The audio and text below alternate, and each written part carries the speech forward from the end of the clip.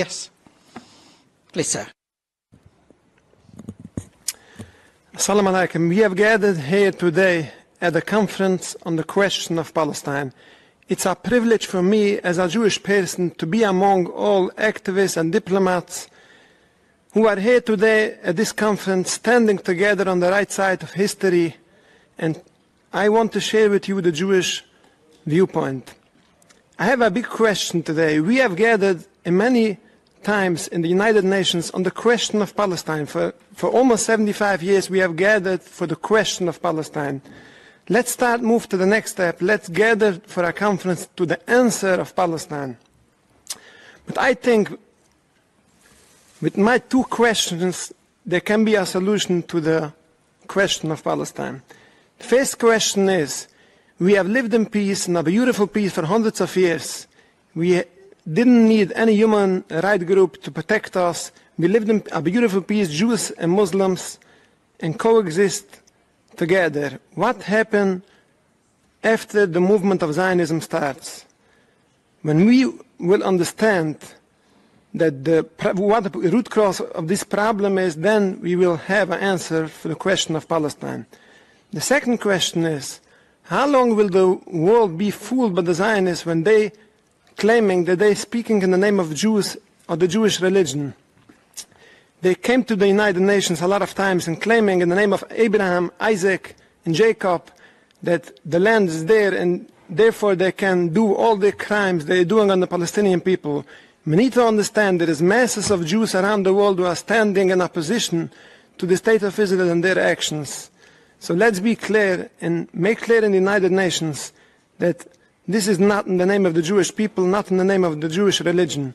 When we will answer this question, when the world will stop this, then we hopefully can have an answer to, to the question of Palestine. Thank you. Thank you.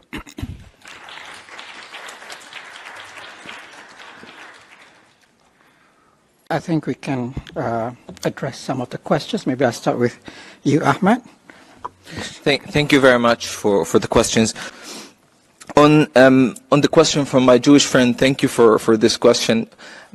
It's important to note, and I think I would like to remind myself and, and you all, that in 1975 there was a resolution by the United Nations General Assembly declaring that Zionism is a form of racism and racial discrimination. The same resolution referred to the unholy alliance between Zionism and apartheid South Africa. At that time, it was already known, a matter of public record, that Zionism, that Israel has offered apartheid South Africa the so-called Jericho missiles carrying nuclear weapons. So Israel has been supportive of uh, oppressive regimes, including uh, apartheid South Africa. And, and, and, this particular resolution was revoked in 1991 because Israel conditioned its revocation on, com on coming to the Madrid Conference for Peace in 1991.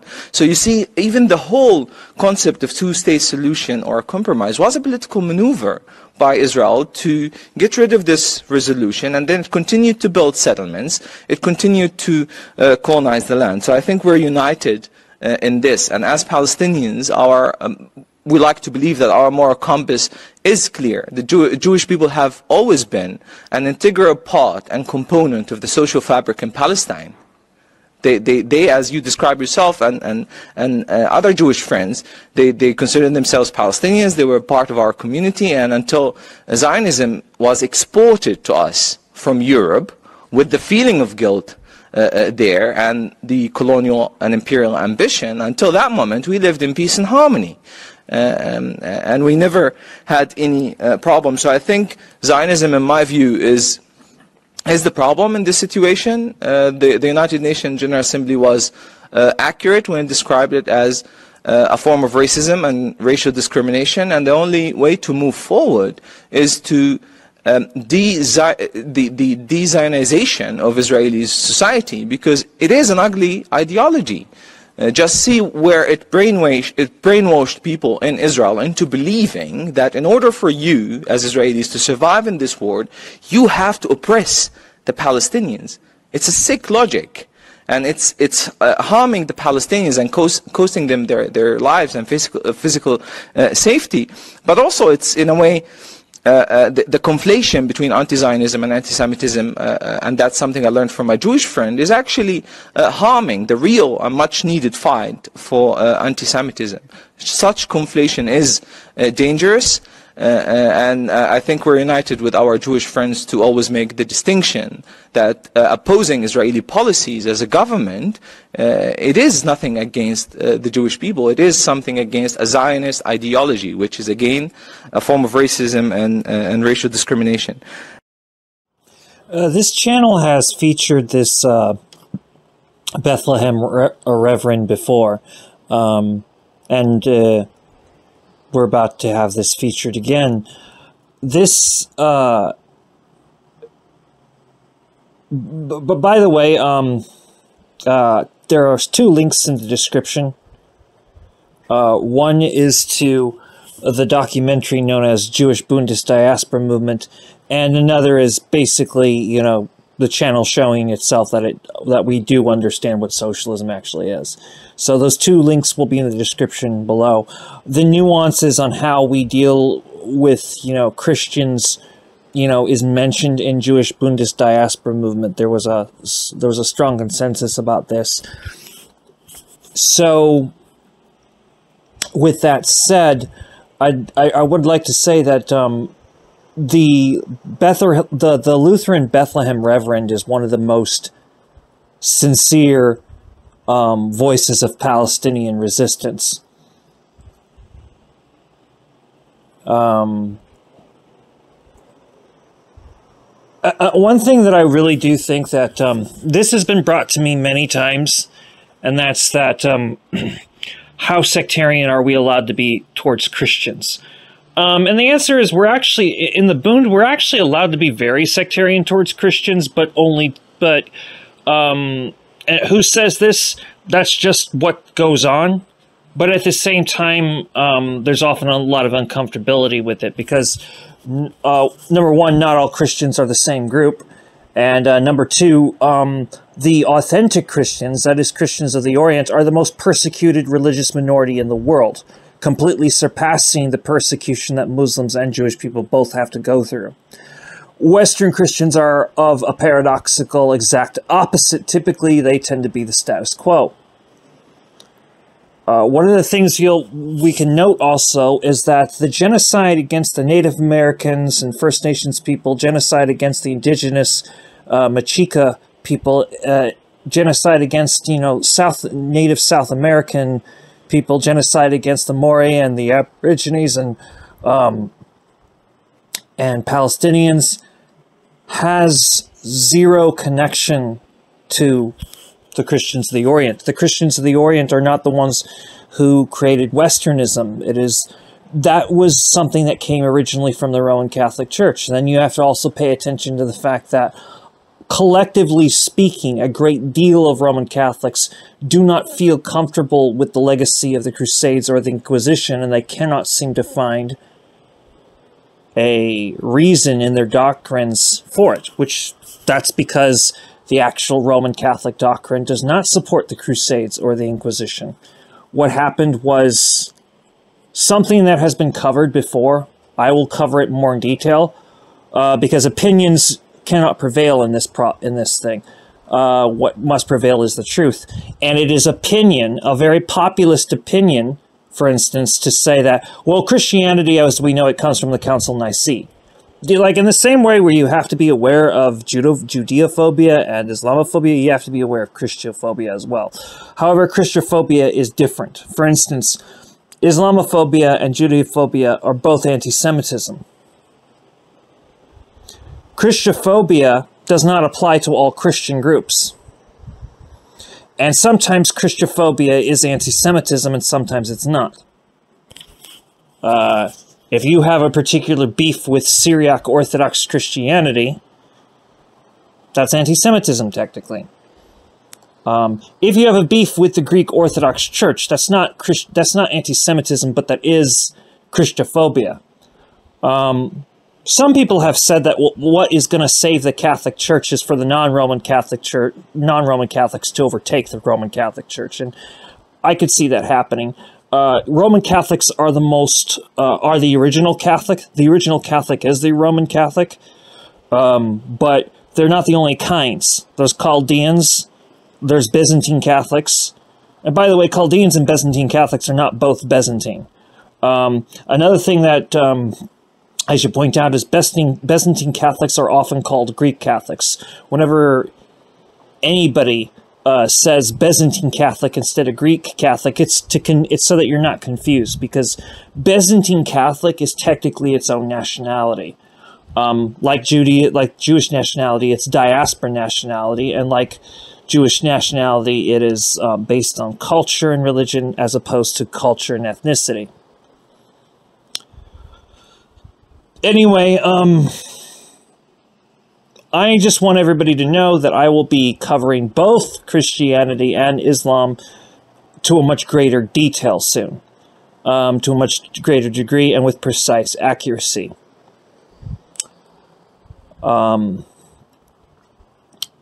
so I'm very fond of this Pal- this Be- this Bethlehem Palestinian Reverend, um, and uh, again, if you haven't, you should look up his sermon on you know Jesus and the rubble. It's really interesting. Um, I think that Judaism, as it go as Judaism goes through re- reawakening, what we often forget is we don't really believe other religions are false. We don't even we're not even supposed to believe that Christianity is false necessarily. We're supposed to believe, as we do, that out of all religions in the world, the one with the least amount of truth is Christianity, and that is the truth the religion with the least amount of credibility is Christianity, but it still does have credibility. And what gives a religion a religion credibility and what gives it not credibility? Th- these are discussions for another time, but these are discussions I particularly will be provoking. But I'll be provoking by providing the facts. Just because you have an opinion does not mean you can sit next to me as an equal and debate me things you don't know what you're talking about. Um, I do not apologize if that sounded arrogant. Um, I'm dealing with a pool of ignorance wherever I go, so that's unfortunately bleeding out. Um, and rather than being overly not personal with you, it's more better if I am personal with you with, with a bit of restraint, and that's what I'm trying to do here. So this um, came out on April 1st, 2024. This is Democracy Now!, democracynow.org. I'm Amy Goodman. As Christians around the world celebrated Easter Sunday, Palestinians face severe restrictions on entering the Old City in Jerusalem. Palestinian Christians from the occupied West Bank were prevented from reaching Jerusalem for Good Friday to walk the Via Dolorosa, the path Jesus is said to have followed on the way to his crucifixion more than 2,000 years ago. Even before October, Palestinian Christians had to seek permission to visit the Old City. In Bethlehem, where Jesus was born, the wall separating Israel from the West Bank cuts through the city, largely empty of tourists this weekend. The Reverend Munther Ishak, who is the pastor at the Evangelical Lutheran Christmas Church in Bethlehem, participated in Easter Vigil for Gaza on Saturday. This is some of what he said. Today we have entered a new phase of the war of genocide in which the people of Gaza are being killed by hunger, thirst, and disease. They are starved to death. It is a slow death.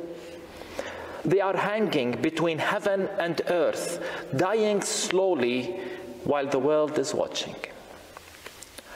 They have no form or majesty that we should look at them, from whom men hide their faces. It took more than five months and 32,000 people killed, including 13,000 children, for the UN Security Council to finally pass a ceasefire. But nothing has changed on the ground. Since when does Israel care about UN resolutions?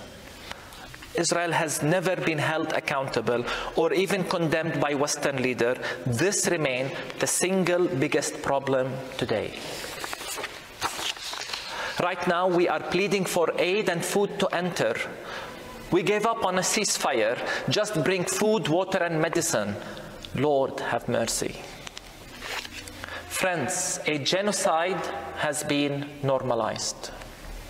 And as people of faith, if we truly claim to follow a crucified Savior, we can never be okay with this.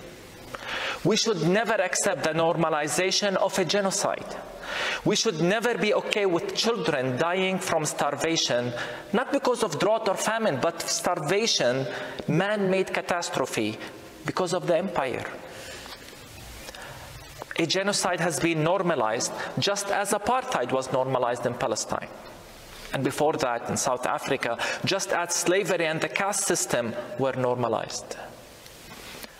It has been firmly established to us that the leaders of the superpowers and those who benefit from the modern colonialism do not look at us as equals. They created the narrative to normalize genocide. They have a theology for it. A genocide has been normalized. This is racism at its worst.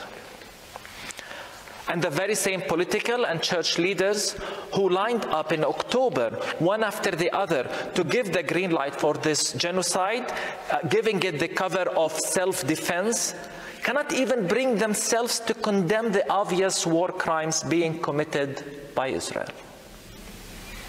They are good at raising their concern make statements that they are uh, troubled uh, by the killing of our children, we're sorry that the killing of our children by your weapons actually troubled you. They want to convince us that they actually care. So they raise funds, uh, they are silent during the genocide, and then show up afterwards with charity to say that they care. Can we really accept this? Many countries rushed to suspend their funding of UNRWA based on mere allegations that were not fully proven yet did nothing with regards to the clear findings of the ICJ. The amount of hypocrisy is incomprehensible, and the level of racism involved for such hypocrisy is appalling. And now some politicians claim that their patience with Israel is ending, and we say nothing can wash the blood from your hands. That was the Reverend Munther Isaac, Isaac in English, pastor at the Evangelical Lutheran Christmas Church, speaking in Bethlehem at an Easter vigil for Gaza Saturday. Joining us now from Bethlehem in the occupied West Bank. Uh, Reverend Isaac, thank you for joining Democracy Now! again. You joined us at Christmas time after you'd made that famous Christ in the Rubble. I'm wondering if you can share a description of what's happening in Bethlehem today in the occupied West Bank and also talk about what happened on Good Friday.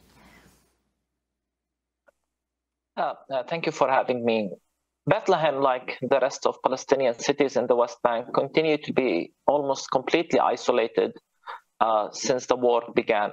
And when I say isolated, I'm not just referring to the fact that we cannot go to Jerusalem, uh, but even a trip to other Palestinian towns and cities right now uh, is a big hassle. It's a risky uh, trip because of uh, the potential of uh, settler violence on the roads that Israel control between all the Palestinian towns and cities uh, and the delays that the checkpoints are causing. Sometimes you could wait up to two to three hours just on the checkpoint with no movement. Uh, it's all part of uh, intimidation uh, and control. Um, and as I said, here in Bethlehem, we're also completely now isolated from uh, Jerusalem. Jerusalem is 15, 20 minutes drive from uh, where I'm speaking from. Uh, Jerusalem, you know, we used to be considered like uh, another neighborhood in Jerusalem, like two twin cities. But right now, uh, for the first time in history, uh, we are completely isolated as Bethlehem and Jerusalem. And again, if you could talk about what happened on Good Friday, the procession in the Old City.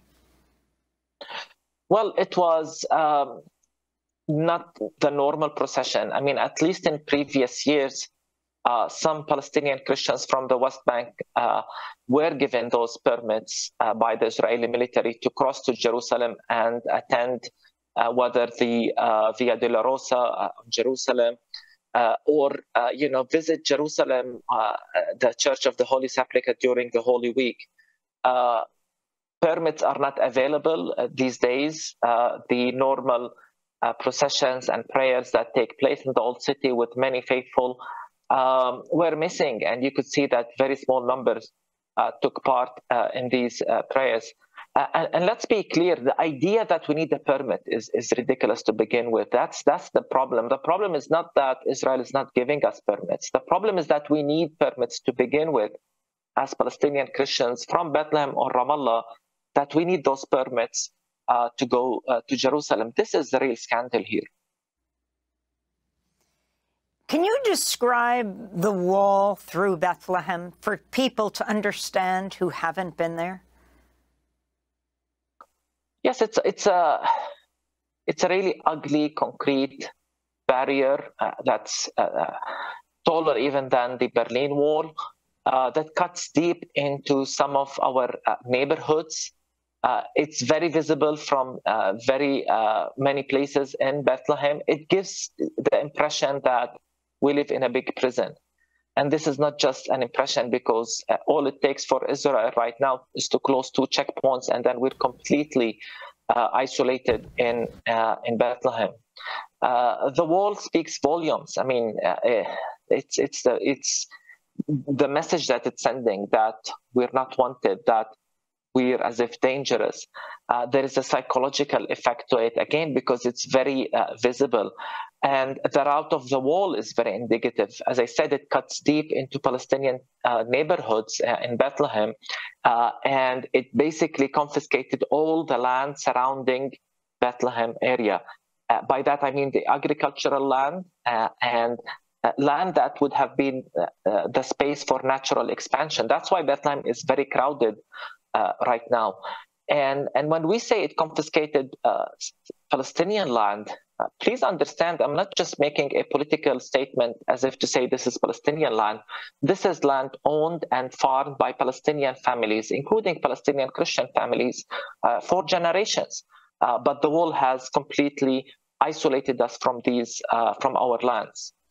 Reverend Munther Isaac, if you can talk about Gaza now, how many Christians, Palestinian Christians, are there? Why didn't most Christians leave Gaza City to go to Rafah? Yes, there is around anything between eight to 900 Palestinian Christians uh, left uh, in the Gaza Strip.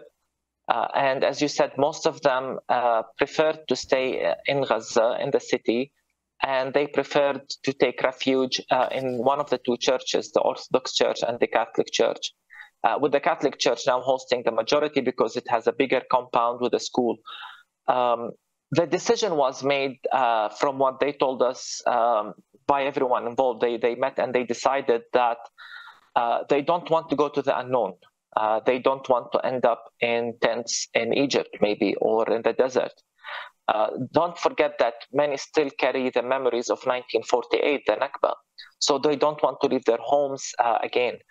Uh, and the message they told us is they'd rather die in the church rather than uh, leave to the unknown and end up somewhere that they don't uh, uh know. Uh, so they, they chose to be together. They chose to be in the two churches.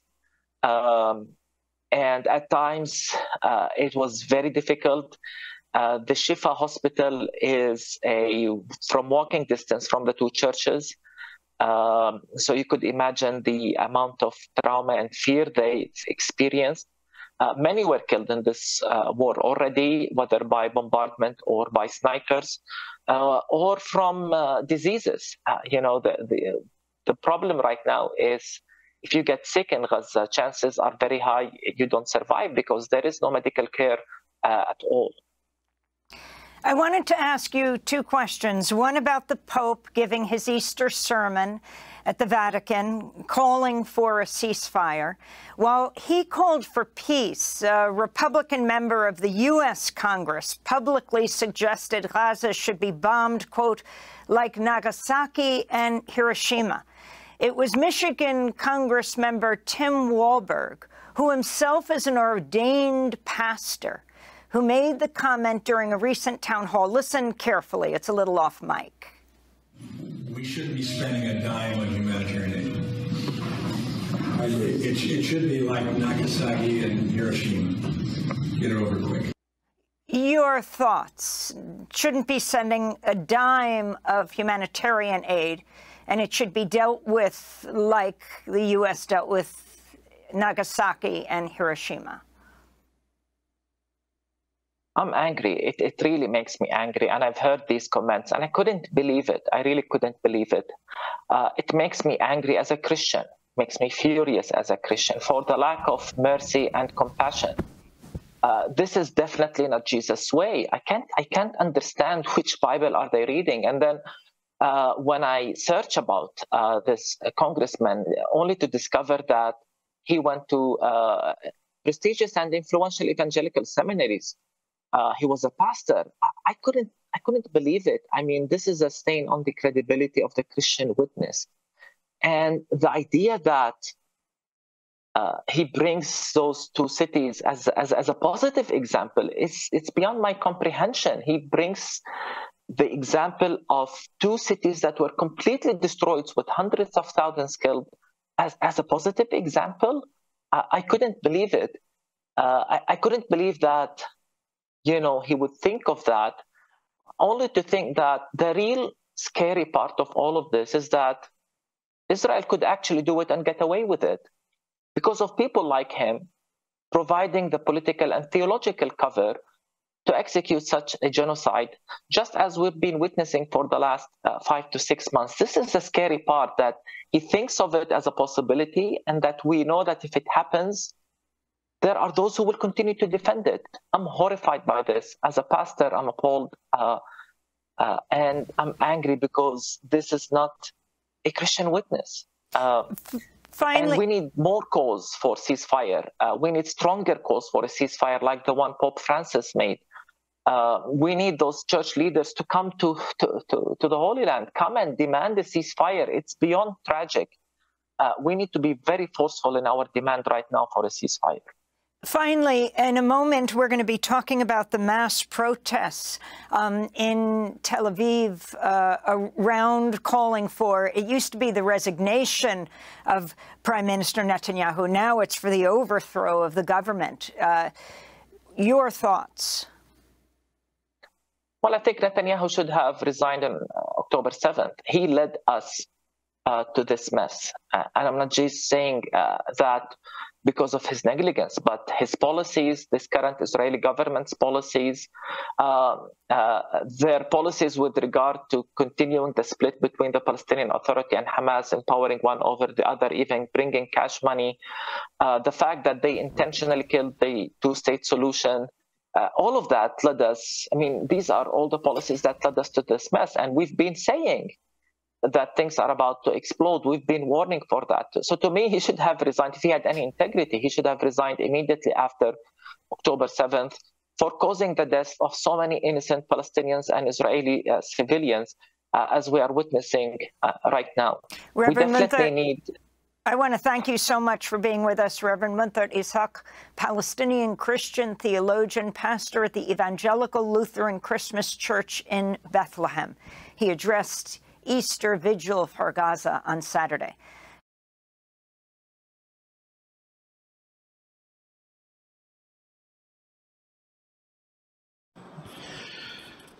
We are now going to uh, bring this to a conversation between Dr. Weisfeld and Ahmed. This presentation came out on March 28th, 2024. Here and now, here we are. And the genocide is ongoing, continues every day, a massacre a day. What a history. What Actually, a, multiple massacres a day. Uh, in different multiple. places, yeah, in different yeah, places. Different places. Uh, yes. Even in yes. Jenin, uh, yeah. Yeah. They, yesterday, they, they murdered over 80 people and, uh, uh, and a few massacres across uh, Gaza Strip. In addition to the murder of about five people in, uh, in on the West Bank, in Jenin mm. and Nablus and uh, mm-hmm. elsewhere. Mm-hmm. Yes, so it's it's a it's a tragedy unfolding before the world, and it's been going for six months. Uh, despite uh, the ICJ, you know, uh, advisory to the Zionists not to continue their massacre and starvation. Mm. And despite the United Nations Security Council resolution for ceasefire, at least for the month of Ramadan, the Zionists they went on a rampage, hmm. murdering and starving more and more people, like telling the world hmm. that we are above the international law and we want to do what we ever want to do. Nobody could hmm. stop us. If you want to stop us, come and stop us. That's yeah. basically what the Zionists are telling the world community. Mm. And that's what they call self determination. Okay. you know, as if only, you know, only a, a fraction of the Jewish people who call themselves Zionists have a right to self determination, and nobody else has a right to self determination. Well, they can do whatever they fraction. want, you know. I won't call them fraction. There are a substantial number of Jews who are Zionists, but they don't represent all the Jews, definitely, and they don't represent uh, Jewish uh, tradition and Jewish religion itself. From my understanding, that Jews are prohibited uh, according to Jewish teaching. That's what, correct me if I'm wrong that we're not supposed to have a state until the return of the Messiah. That's even with the return of the Messiah, no yeah. state. You know, yeah, a state but... is a, a modern invention of Protestantism. You know, it has nothing Absolutely. to do with, you know, Judaism or Islam. Uh, Islam has a concept of a of a caliphate, and it's a, uh, it's a state model. It's a state a, model. A state model, but that seems to be like a, a copy of the Western no. model. No, no, it existed before, no. right? The caliphate, the caliphate, it's way precede the, the, Western models. At the time when there were caliphates, there were no no Europe, no Europe. They were just living in in in, in what we call now caves and uh, tents, etc. So uh, yes, uh, Europe was was way behind. Europe is was very underdeveloped. It still is. Oh, yeah, definitely. They, they they were start developing uh, or de- developing uh, Europe was started developing. After the Arab uh, con- conquer of southern Spain and starting a, a, state there which has universities and culture where lots of Europeans came to study in the Arab universities and many Jews moved from Europe to, to uh, that area who are now called the, the Sephardis. Sephardi mm. Jews who lived in that state, and they flourished actually in, in, in Andalus. We call it Andalus or Andalusia. Mm. Uh, yeah, that's uh, that's another issue. Uh, we're not going to go into detailed history. Yeah, so um, the Zionists, I believe, they actually self-inflicted traumatizing, uh, traumatization or trauma of believing that the entire world is against them and they own all the pogroms and the Holocaust to themselves. Therefore, hmm. In order as as a trauma, as a trauma uh, patients, the Zionists I'll call them, uh, they're acting they're acting as if everybody owes them. No, they owes nothing to the world. They are above the world because they are the chosen one. Hmm. And because the six million Jews perished during the Holocaust. Therefore, the world, who is the world to tell them what to do? They can do whatever they want, whenever they want, without any uh, responsibility. This is called the, the traumatized, traumatized psychosis. psychosis. Mm. They could murder, kill, do whatever they want because the world let us die in the Holocaust. Whereas the Zionists were actually collaborators with the Nazis. yes. Is, true. yeah. And before 1967, they didn't talk about the Holocaust. There were no Holocaust commemorations. There was no, you know, Warsaw Ghetto commemoration. 1973, I and uh, uh, uh, Joe Meslin, the president of the uh, Peretz School in in the Workers' uh, Circle of Toronto, mm were the first to set up a Warsaw Ghetto commemoration. Mm-hmm. Yeah. Well, the Zionists, they use whatever they want whenever they, they need it, whenever they need it. Yes. So at that time, they didn't need to use the Holocaust. They yeah. don't want. They didn't need to weaponize the Holocaust until uh, when the until the world start opening their its eyes to the crimes of uh, Zionism in Palestine. Then it was so convenient to weaponize the Holocaust and uh, anti-Semitism, which is now widely used by the Zionists to silence all its critics. Mhm. I'm not saying there's no uh, anti-Semites, but uh, the vast majority of those people being labeled as anti-Semites who are actually they are anti-Zionist, and it's uh, it's a pretty uh, uh, revealing how the Zionists they could uh, weaponize whenever they want, whatever they want, in order to maintain their uh, Nazi-like state in Palestine. Yes, that's what happened to me when I was charged by uh, by a complaint filed with the hate crimes division of the uh, uh, Mo- Montreal uh, SPVM. Uh, you know, police. Uh, I mean, even the policewoman, you know, herself said she didn't consider uh, my act to be anti-Semitic, but she was still speaking in the name of the hate crimes division of the Montreal Police, and that's what's going to be presented to the court. You know. Yeah, yeah. So, and I'm a second generation Holocaust survivor. So, Yep. you know, the Oh, no, Zionists you- you- uh, are have a name for it. manipulating. Oh, they, they manipulate every little inch that they can Yeah. get, you know, Yeah, yeah. and uh, they claim There's to represent the Jewish you, people, uh, but Abraham, Dr. Yes. Abraham, there's a name for you by the Zionists. You are a self-hating Jew. oh, Oh, yeah, aha, you know, because you they cannot call you anti-Semite. So No. for me, they could call me anti-Semite, although I'm a Semite, uh, but doesn't Yes. matter. Doesn't it doesn't add. It doesn't apply to me.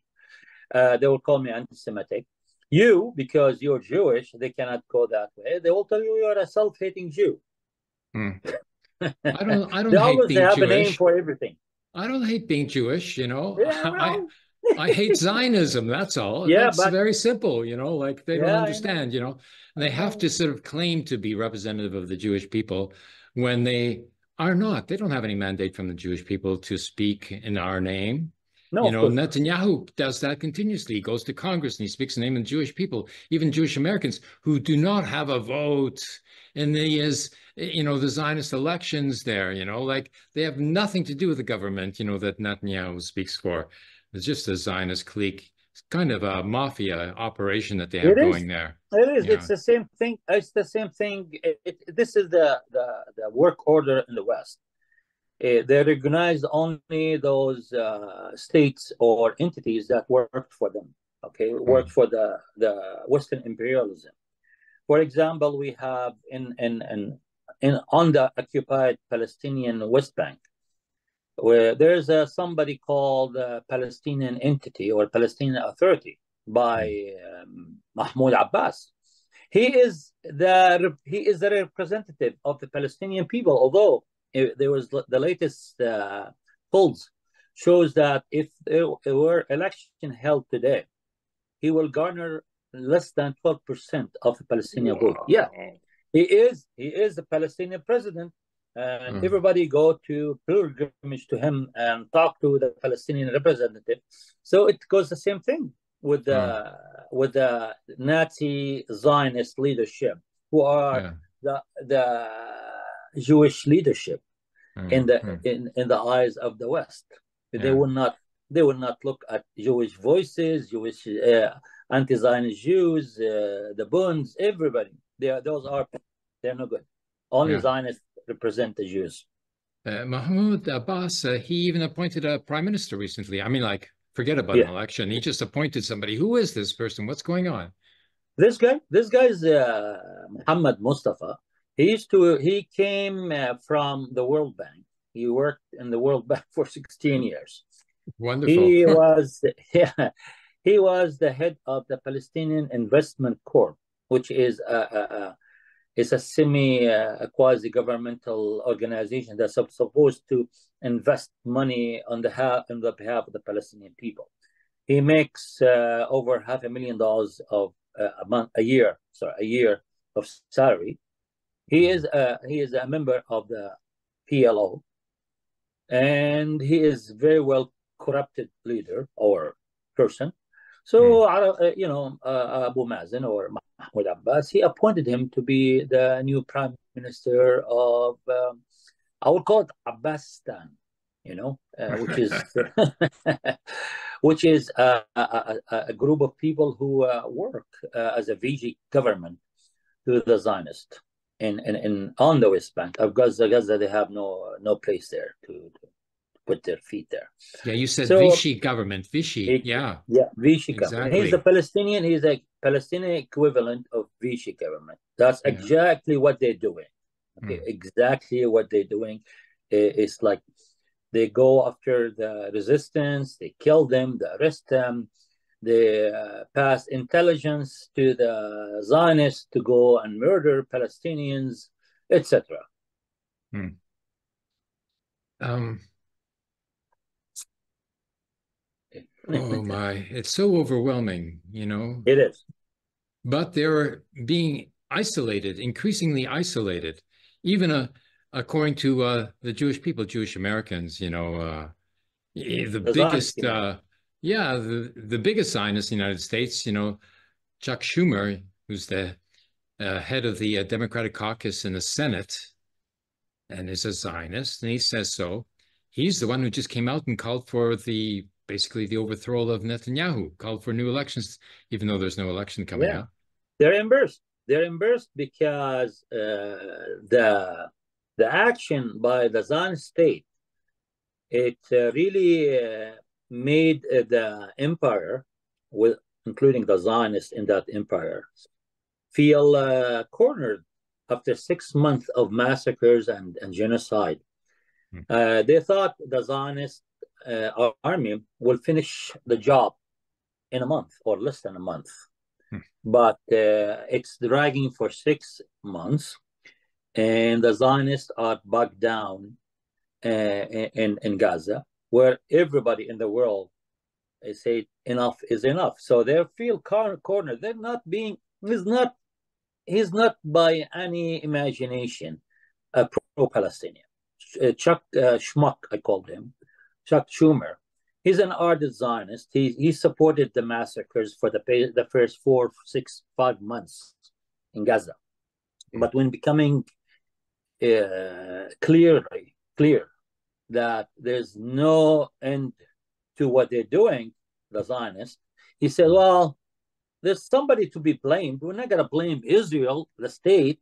We're not going to blame the Zionist army, the fascist Zionist army. We're not going to uh, blame the 91% of the, the Israelis who were calling for more murder and killing. We're going to blame someone. Somebody we have to throw him under the bus to show that Israel is innocent, the army is innocent, the Israelis are innocent, and we are the empire were innocent. It's him. It's it's uh, Netanyahu.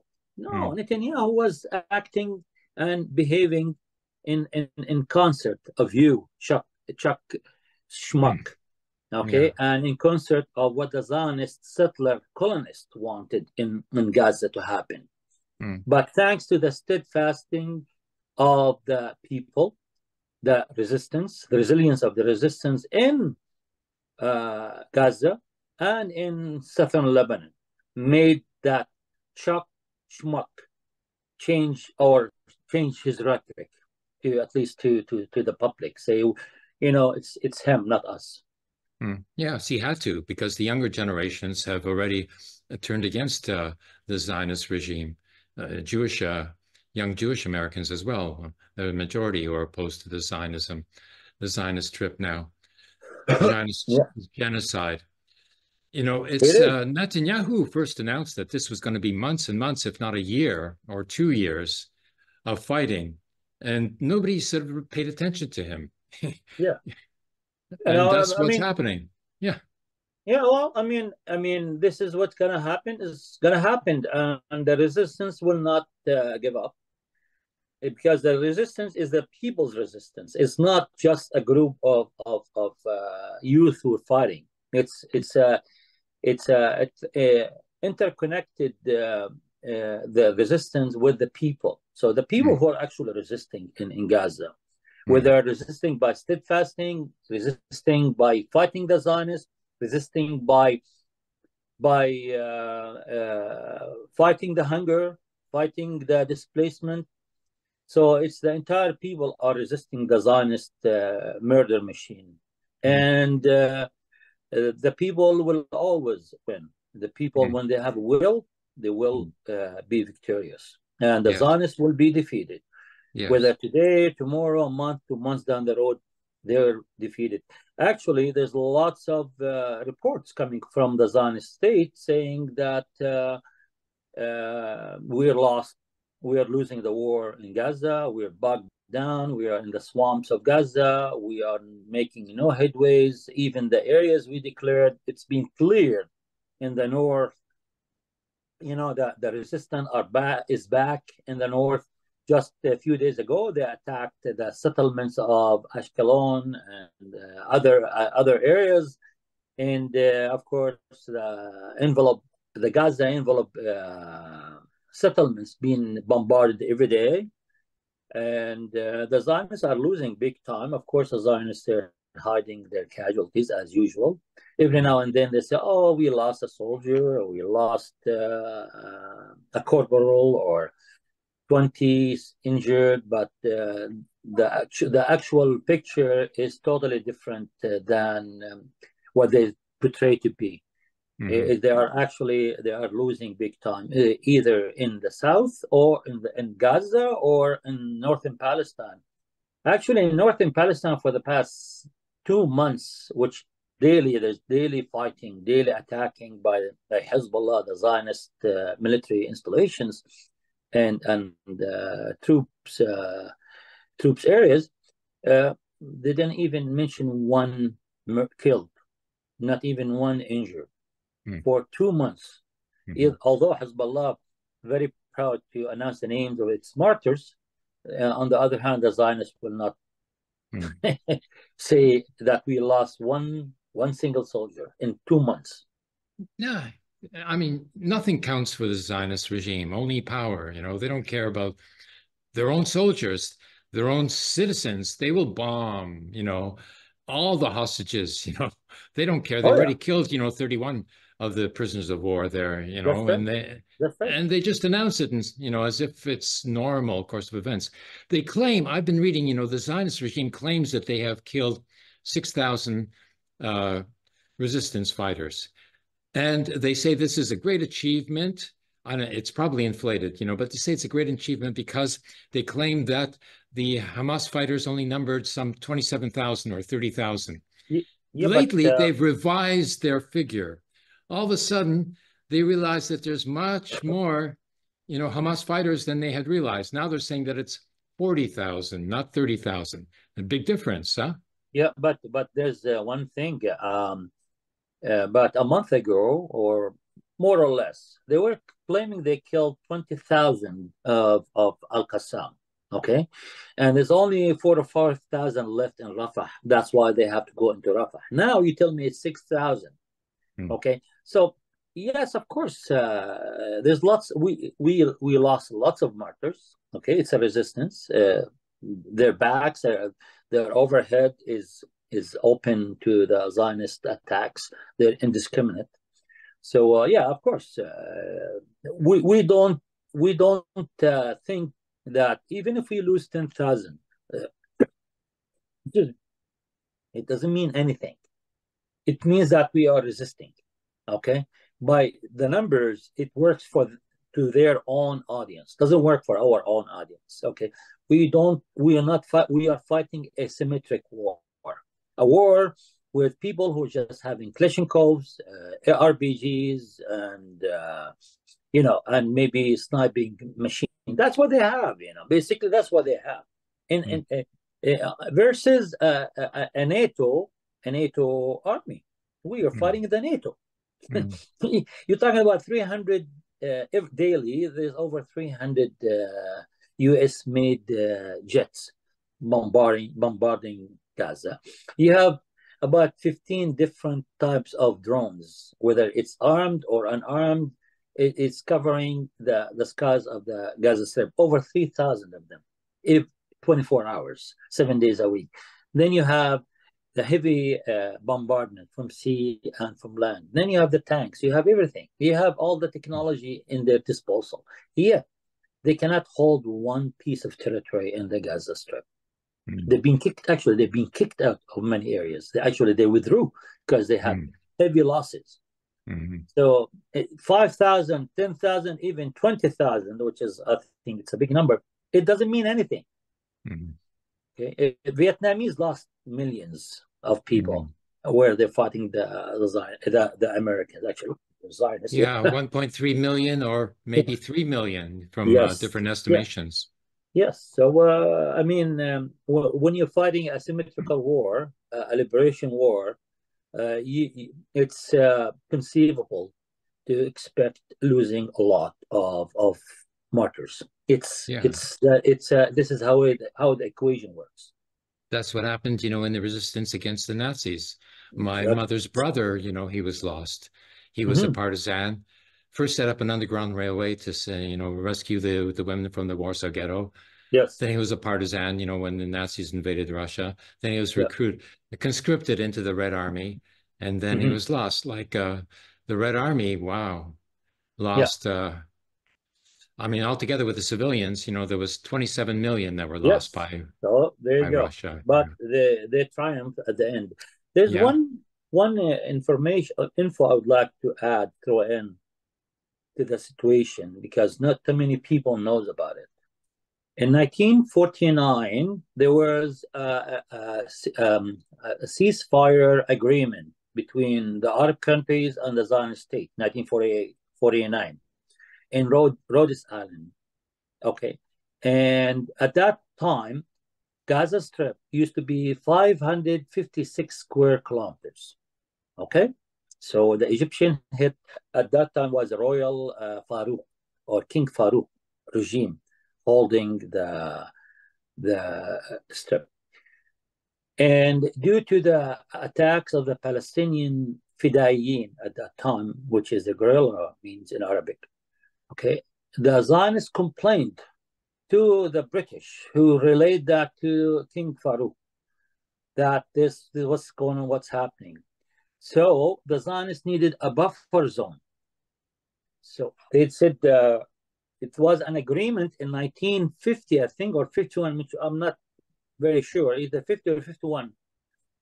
There was an agreement signed between uh, the uh, military ruler of Gaza, is an Egyptian officer by the name of Mahmoud Riyad, signed uh, uh, uh, an agreement with the Zionist army it's called coexistence agreement. In it, he he will withdraw his troops inward, and he give up 191 square kilometers to the Zionists, ceding them a land is not his anywhere. It's yeah. a Palestinian land. In these areas, okay, the, all the Palestinians were there were being forced by the Egyptian into Gaza. Another Nakba, a small mini Nakba. Yes, sir. This in within this 191 square kilometers, the Zionists created a few moshavim, moshav, which is mm. a, a kibbutz, military kibbutz, okay, which now called Gaza envelope, which in October 7, the Palestinians broke through the concentration camp and went to the land it's, it's rightfully belonged to them and according to the ceasefire agreement of 1949. So these these settlements, they were not uh, a regular Israeli town. They were moshavs. Okay, everybody know what a moshav is. As I said, it's a it's a military uh, mixed mixed military and agricultural uh, settlements. So what happened, even if there were civilians killed or murdered, as I say, it's it's uh, within the rights of the international law of rules of engagement of liberation movement fighting back the occupation. So I'd like to throw that information. It's very important for people to know the Gaza Strip used to be 556 square, square kilometers. Now is 300, 365 square kilometers. Mm, yes, yes. It's 556 uh, square kilometers, I think, was the designation under the partition plan passed by the United Nations General no, Assembly. No, the part- no, no, no, no, no, no, no. Partition oh. plan, the land is way bigger than that. It goes up to Yafa, up to yeah. Oh. So yeah, uh, no, that's uh, has nothing to do with the partition plan. Partition plan give uh, Gaza. Well, if we want to consider the Gaza area, you're talking about minimum about six, seven thousand square kilometers because encompasses part of northwestern uh, Naqab uh, desert. So uh, Uh-huh. that's not uh, part of the partition plan. It's Oh, uh, yes, uh, uh, yeah. Uh, yeah, yeah. yeah. It's called the Armistice Armistice uh, uh, Agreement in Rhode, Rhodes Island, uh, 1949. Yeah, where when the when uh, King Abdullah the first at that time, in in that agreement, he ceded the uh, another 1500 square kilometers to the Zionists from the West Bank, which is called the Triangle, Triangle area, which is uh, now it's called part of it called uh, the city of of Umm al Faham. It's uh, within now the perimeters of Israel itself. So there's lots of um, issues Mm. that many people don't know. So 1,500 square kilometers gone to the Zionists without any fighting, without anything, just given as a, as a, as a gift. Mm, Okay, because mm, the Zionists asked for him, asked him to give it to them, so he gave it to them. Mm, And the same thing goes by with the Egyptian, mm. giving them 190 square kilometers for just co- to coexist and make the Zionists feel comfortable at night. Mm. Mm, mm, mm. This uh, armistice agreement of uh, 49, it's uh, what's called the Green Line as far as the West Bank is concerned, is it not? Yes, yes, yeah, Uh, exactly. Yeah, Uh, Yeah. But that's not even the, you know, the boundary set by the partition plan. It's just an armistice agreement. It's not a no, frontier. no, no, no, no. It doesn't No, uh, belong, you know, to the Zionist state. Yet No. they claim it, uh, you know, as being, you know, uh, the uh, pre-67 uh, Zionist state. Yes, And, uh, no. a- a- a- e- even though it's, you know, not uh, not uh, certified, you know, by the UN General Assembly, you know, has no No. legitimacy whatsoever. Mhm. No, of course not. You know, if you if you want to go back to 1947 partition plan, most of the corridor between uh, Jaffa and the settlement of Tel Aviv, all the way to Al Quds, which is they call it Jerusalem, that huge parcel of land used to be part of the Palestinian state, according to the partition plan. All that being swallowed up by the Zionists. Mhm. Actually, Deir Yassin massacre was part of that Palestinian statehood. Mhm. and that you know uh, we know what happened in the massacre and many other areas. Uh, Lud uh, Ramla uh, all were part of the Palestinian state. They were all swallowed by the Zionists. So uh, Mhm. it's the Zionists uh, took over um, over over 20% of where they allocated by the illegitimate uh, partition plan Yes. mhm. I think they went uh, from uh, 52 to 74% of uh, historic Palestine. no from 54% to 78% Oh. mhm. yes so uh, that's quite a bit it's a Oh, yeah. it's quite a bit of land they took um, um, most of the upper Ga- galilee we call it al-jalil used to be part of the palestinian state the, the zionists swallowed it Mhm. most of the land um, uh, as i said between the corridor it's a huge corridor like you're talking about 30 kilometers uh, uh, 30 to 40 kilometers wide to about 50 kilometers uh, length that means also uh, between uh, Jaffa and Al-Quds being swallowed by the Zionists. Many parts around Gaza, Gaza Strip, uh, all being swallowed up by the Zionists. Uh, so, so many areas uh, the Zionists swallowed up uh, to secure their uh, state. Uh, and um, it turns out that their state is not secured. It's only 1,200, took 1,200 fighters to break down its security and uh, you know, insult their um, bride of of uh, the most uh, advanced and strong army of the world. Mhm. Yeah. I mean, they do have the equipment. They do Oh, yeah. have the soldiers. They do have conscription, but they don't have the mentality. They don't have, they have the, a delusion of power. Exactly, exactly. They're cowards. That's all. That's what it is. They're just cowards. They just murder and kill from above, as I said, from the sea, from uh, land by far, by 14 different drones, uh, some of them armed with submachine guns uh, and uh, and uh, hellfire, and uh, even with all this technology and cyber technology and high tech, etc., it's you name it, they cannot they cannot uh, control a 300 square 365 square kilometers for six months. The only victory they had done so far is murdering and injuring and maiming over 100,000 Palestinian people, destroying about 80% of Gaza and rendering about 20% of soil as not good for uh, for agriculture or usage. Yes, they've polluted the, so the soil with uh, sea salt, with uh, seawater.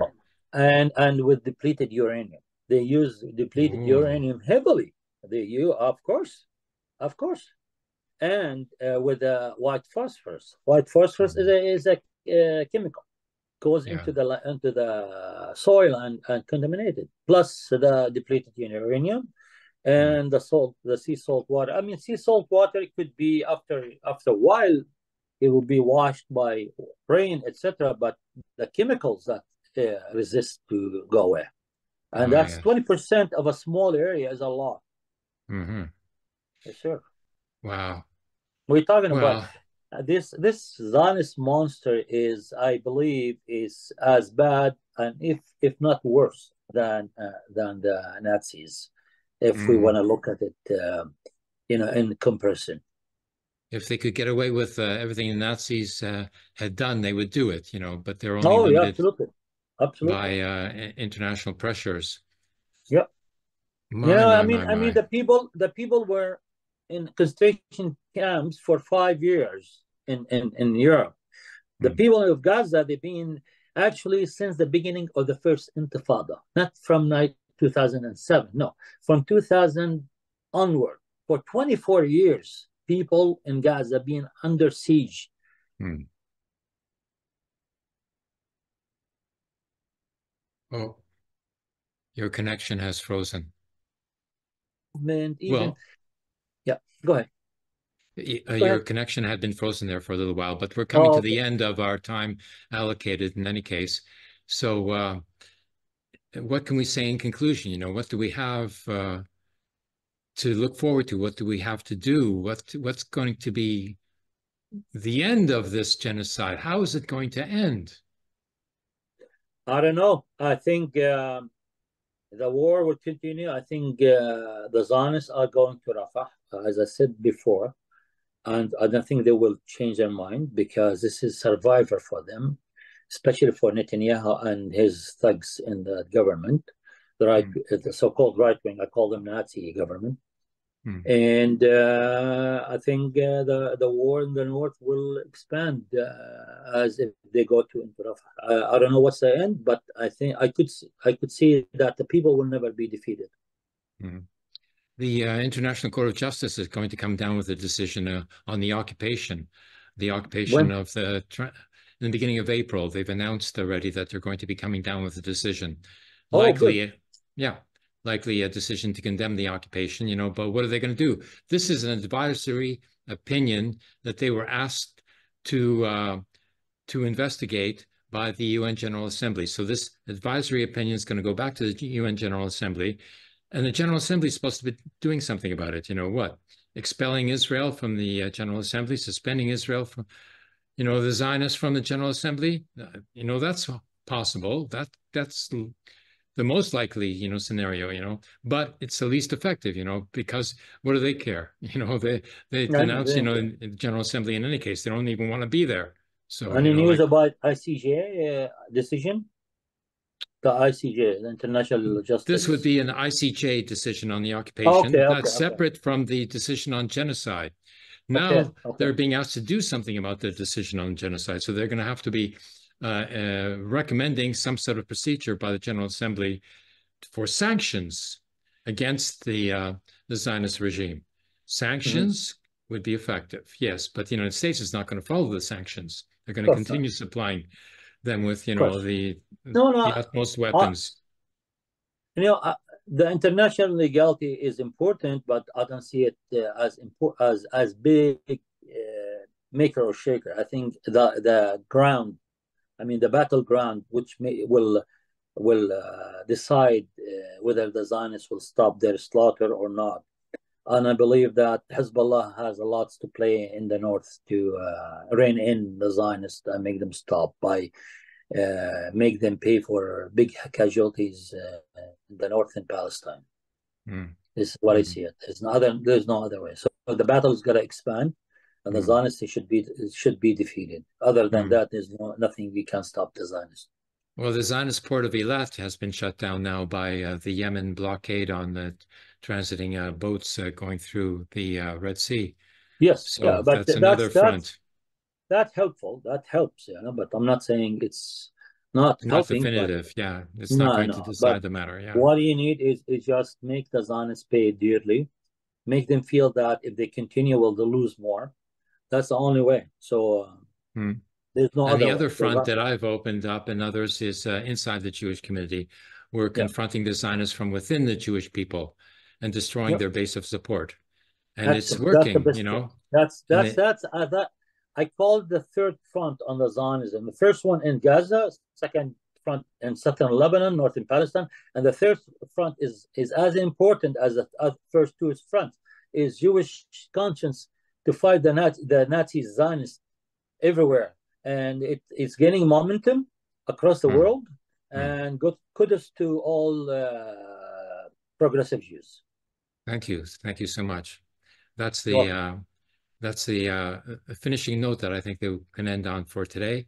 And looking forward to uh, your next presentation. Thank you, Ahmed. Okay. And now um, we're going to bring this to a conversation between Dr. Weisfeld and Steve Struggle from the original Black Panther Party.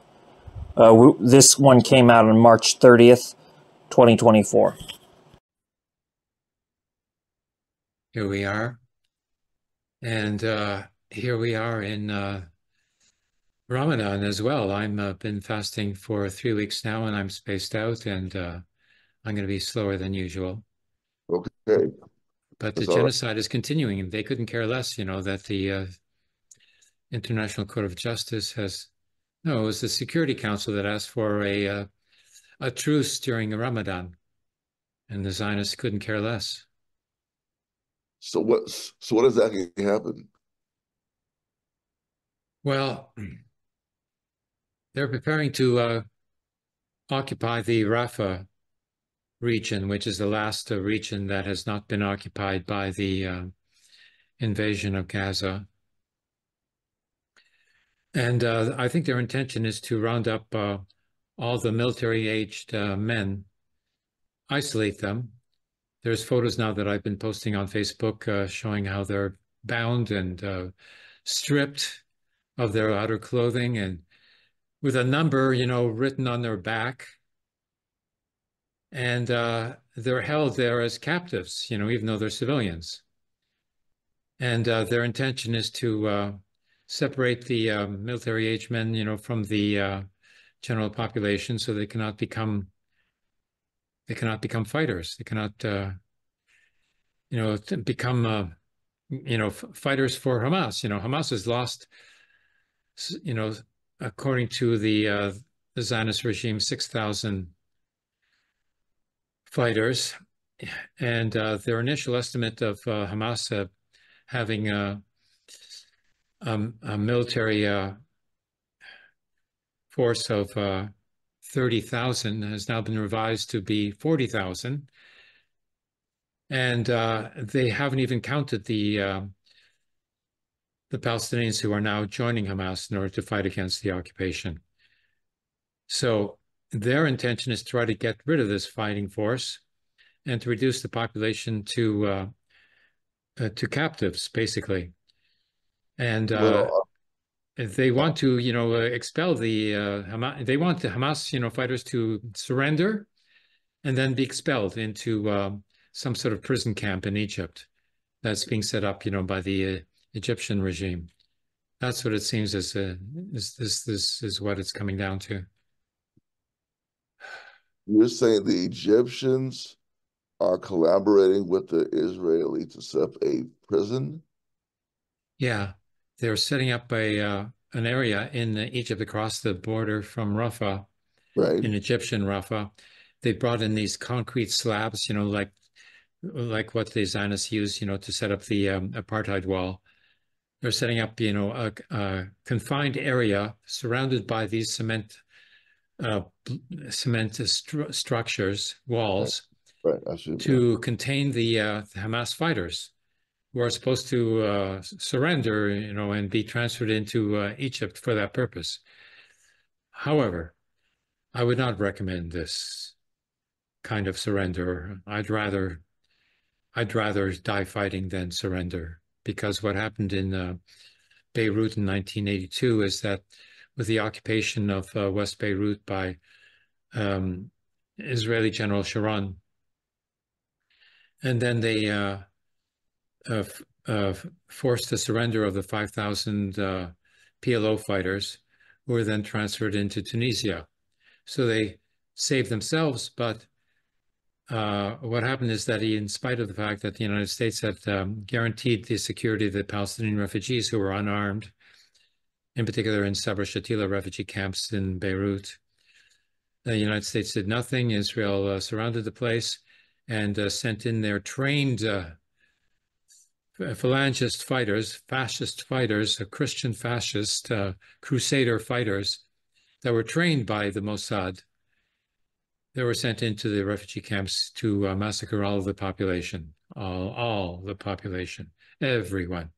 And that was 3,000 who were killed inside the refugee camps of Sabra Shatila, and then the men who were separated and sent to a, you know, um, a soccer stadium somewhere. You know, they were all killed, all killed as well. And uh, so it's, you know, from three to 5,000 uh, Palestinian refugees were killed in that way because the PLO fighters, you know, were sent away to Tunisia and uh, together with the leadership, together with Arafat. Uh, and so, you know, this cannot be repeated again. And the and the and Hamas knows this. You know, they will not surrender because it only means death for the civilians. So interesting. interesting. Hmm. Well, yeah. But the Palestinians are willing to fight to death because they know they have no other choice. You know, and the Palestinian civilians, they're not willing to leave Gaza even to save their lives, you know, they're not willing to leave, say, except for the most desperate, I suppose, because they don't want to end up, you know, like the 5 million Palestinian refugees are still surviving in refugee camps, you know, spread out over the region or now being cut off, you know, from uh, United Nations Refugee Relief uh, Organization you know, the United States has now decided in the latest piece of legislation to permanently cut off funding for UNRWA. So they're permanently cutting off funding for Palestinian refugees. And what are the Palestinian refugees supposed to do? Well, that's not mentioned in the legislation. Never, never mentioned. Yeah. This, this concerns me because with the shift back, with the shift of the world's attention back to the Russia, because of the terrorist bombing there two weekends ago. Now the struggle in Western Asia is not getting the media focus that it was it was getting. Yeah. Um, and therefore, many people don't know what you just shared. This plan to basically um, force Palestinians into an Egyptian an Egyptian uh, uh, enclave to possibly later be killed, which is kind of that's that isn't a good option. Um, but I'm reading other things though about the Palestinians actually winning. I and that the and that Israel has not invaded Rafah for some political reasons. Um, the West, some Western countries, United States is under great pressure from this country. There's a lot of pressure being put on the Biden administration to cut the cut this nonsense and to um, stop Israel from carrying out any more attacks on the Palestinians. There haven't been major major demonstrations here in a while. However, the I want I want to say the majority of Americans do not like what they're seeing. Uh, the ones who like it are are a minority. And yes, by, you're right. Yeah, the latest poll indicated 55% were opposed to this uh, war. Yeah. So I, I, I was mentioning to a person this week, a matter of fact, Thursday evening, a conversation, I kept saying, the issue of Palestine must come up in every debate, every speech, every every time the presidential campaign um, turn, shows up. The issue of Palestine must be front and center, the most important issue, and here's why. Eventually, gas prices will go down. They will. Eventually, some domestic problems will will will will, will be resolved with either Biden or Trump. But the Palestinian question, the entire world knows that that question, the resolution of that question lies in the United States. It doesn't rely with Israel. It relies with the United States. So the United States people involved in these elections have to make this a central campaign. Mm. And I'm and you know, whoever whatever candidate is running, whenever they have a debate, whenever people have a chance to weigh in, the first thing, Palestinian right to self-determination. What are we doing about it? I'm not talking about October 7. It's much more than that. I think that is imperative to keep that issue on the front burner. Because if it's put on the back burner, it's over. Hmm. If, yeah. I think hmm. I think I think if, if it's on the front burner, we will do a great support for our brothers hmm. and sisters in Palestine. We have hmm. to do that. We we really yeah. don't have any choice. Yeah. It's like uh, every every revolutionary movement depends upon the success of the Palestinians in warding off this uh, fascist yes. invasion. Yes, everything yes. depends on this. Yes, yeah. it, it, it is it is crucial because mm. everybody has seen the naked genocide, the mm. naked brutality, the naked destruction of Israel with firm U.S. backing and assistance. So for that to be forgotten or put in the back burner or be to be dismissed would, will be a great defeat for social justice worldwide. Oh yes. Because if they get away with this genocide in Gaza, they'll do it to any other revolutionary experience any, anywhere any else in the world. Any, anywhere else in the world. That's right. Yeah. Including New York, Atlanta, yeah. no yeah. matter where, you know. Well, Atlanta, you know, has been a hotbed uh, there's been one activist murdered by the uh, police a few months ago uh, regarding the struggle against Cop City, yeah. a, a, privately funded police training center.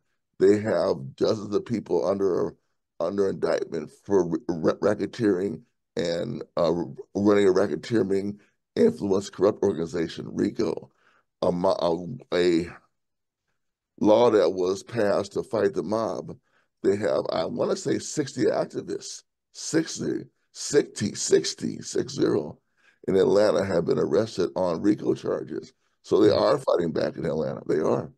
Mm. It's one of the centers right now of mm. this movement to uh to to to, uh, criminalize dissent is in Atlanta under under a black mayor. Yes. Mm. Wow. Yeah. Yes, you know, I've read about the cop city, and it seems like that they're training the cops to be a uh, uh, a military force to attack and carry out pogroms in the black ghettos of America. Well, America. They, the, there was a story recently from Mississippi, um, in Rankin County. I think last year, two two two black men were sexually assaulted, physically assaulted, and um, bound and gagged by a group of white policemen in Rankin County, Mississippi. Along this same line, there was some claim that a white woman was being held hostage in a home or something. The police kicked in the door, raided the house, and just abused the men in some ways that I don't even want to discuss on on on this show. It was just the tip of the iceberg. The police chief has refused to resign. Mm. There, were convic- there were convictions brought on all charges. And what I'm hmm. saying is, this happened in the light of the George Floyd protests. Uh-huh. There have been some people saying the George Floyd protests were not successful. I disagree. We wouldn't expect the George Floyd protests to end police brutality, will we? No. The George Floyd protests could not end police brutality. But what it brought was the reckoning of large numbers of people who are against cop terror to put it to to let the state and the police know you're you are being watched, and if and and and, if and when you get out of hand, we might not win, but but but we will fight back. So mm-hmm. I consider that a victory. Five policemen were sentenced to up up to 25 years in prison for, wow. for assaulting these two uh, African American men around between 28 and 45 years old. They were viciously assaulted, just for no reason 25 years, good. That's good. Well, you know, yeah, I, am looking so, forward yeah. to the reception committee inside the prison as well. Me too. Yes. So am I. You know, um, um, um, Derek Chauvin, you know, met his committee there. He should have, didn't he? Yeah. He should have. Yeah. Well, what what can save the Palestinians? You know, this is uh, I'm drawing a blank.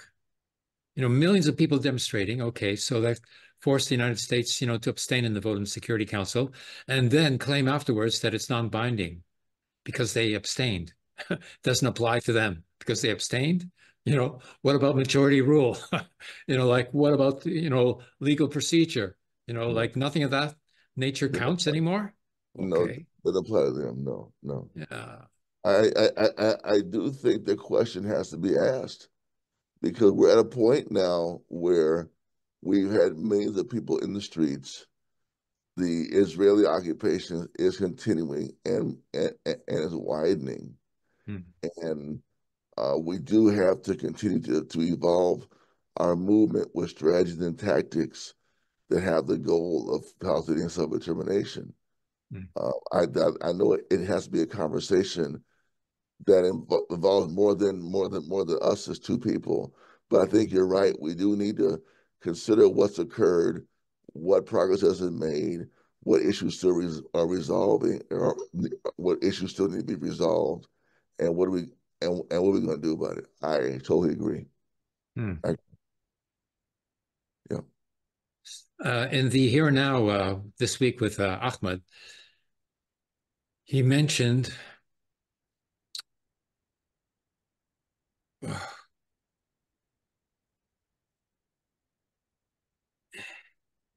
he was uh, speaking in a very uh, pessimistic way, but in a very steadfast way as well. And uh, the Palestinians are not going to give up. Now, what he mentioned that was very interesting and new was that he considered this to be a three front war. Okay. Okay. First of all, Hamas fighters are fighting back and they're relatively successful. You know, like they've taken out, you know, even, you know, the Zionist regime admits that they've lost uh, 253 soldiers. That's, you know, that's uh, pretty incredible. Killed soldiers. And, and then there's all the injured soldiers as well. Okay, so which is probably three times as much. But in any case, 253 is what they admit but they don't include October the 7th. On October the 7th, there was another 253 that were killed, you know, who were there, you know, in the military camps around Gaza, surrounding Gaza, and they were taken out in the first hour of the offensive by the 1,200 Hamas fighters. You know, like those are the ones, you know, who are sniping, you know, the civilians who were demonstrating, you know, in the Great March of Return two years right. ago. Right. right. Those were the murderous, you know, uh, Israelis, you know, who were you know, set, you know, to encircle the, the Gazans and to take them down, you know, if they came anywhere, you know, close to the fence. So, you know, like, and they killed you know, 350, you know, uh, civilians at that time. So, you know. Anywhere close to the fence, just close. Yeah. Just close. Yeah. I yeah, mean, unarmed, you know, civilians, you know, just unarmed. wanting to go go back, you know, to where their grandparents had lived before, you know, that's all, you know they you know they would have even you know shared the kibbutzim you know with the Israelis you know if they were given the opportunity probably. You know anything's better than Gaza. But yep. no they were just taken down including that nurse. Wow. Uh, so Incredible. okay that's the first front. Okay and it is holding steady. Okay. Now second front is Lebanon Right. There, you know, Hezbollah is taking on the whole Zionist military, and they're afraid to invade Lebanon like they did before, you know, because they would be, they would be, you know, like decimated there by Hezbollah.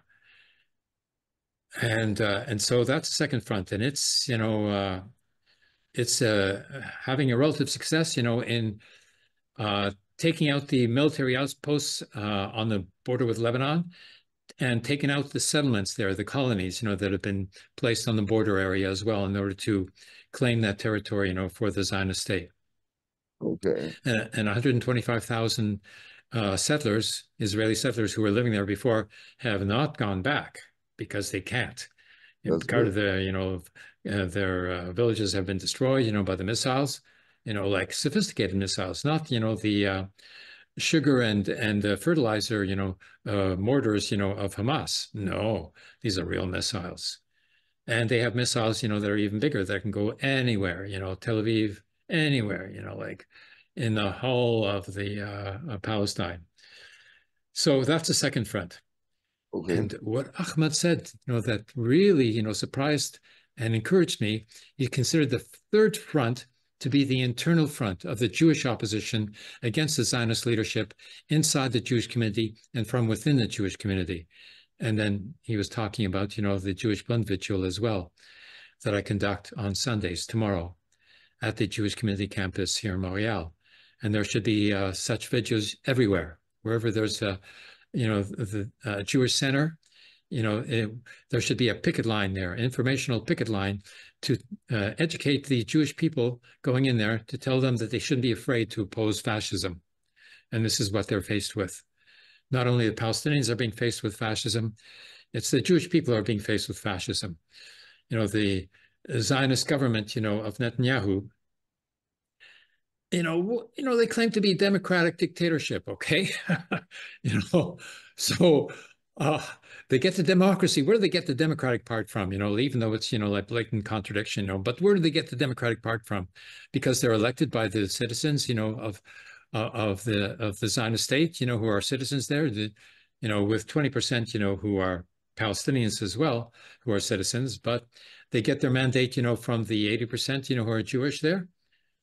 Well, they don't even have that. You know because those uh, fascists who are in the war cabinet, they have only, you know, like seven or nine seats, you know, in the whole parliament of the Knesset there. You know, where do they get, you know, to claim that there's some kind of a majority? And even if that government was initially elected by majority, it's only a minority of the Jewish people who have a vote in those elections. You know, they don't speak for the Jewish people. Majority of the Jewish people do not have a vote in the Israel elections. We have nothing to do with that government. And there's 7.4 million Jewish Americans, and there's only 7.2 Jewish Israelis. And of those, you know, a lot have left. A lot have left. You know, maybe a million have left to go to where? California, Miami, Berlin. For sure, they don't want to stick around there. They don't want to be forced in the military. They're draft dodgers, basically, is what they are. They're not mentioned as such, you know, because that would be an embarrassment, you know, to the Zionist movement. Right. Right. that Jewish people don't want to fight for the Zionist project. And now they're so desperate that they're trying to force the Orthodox yeshiva students into the military to fight for the Zionists.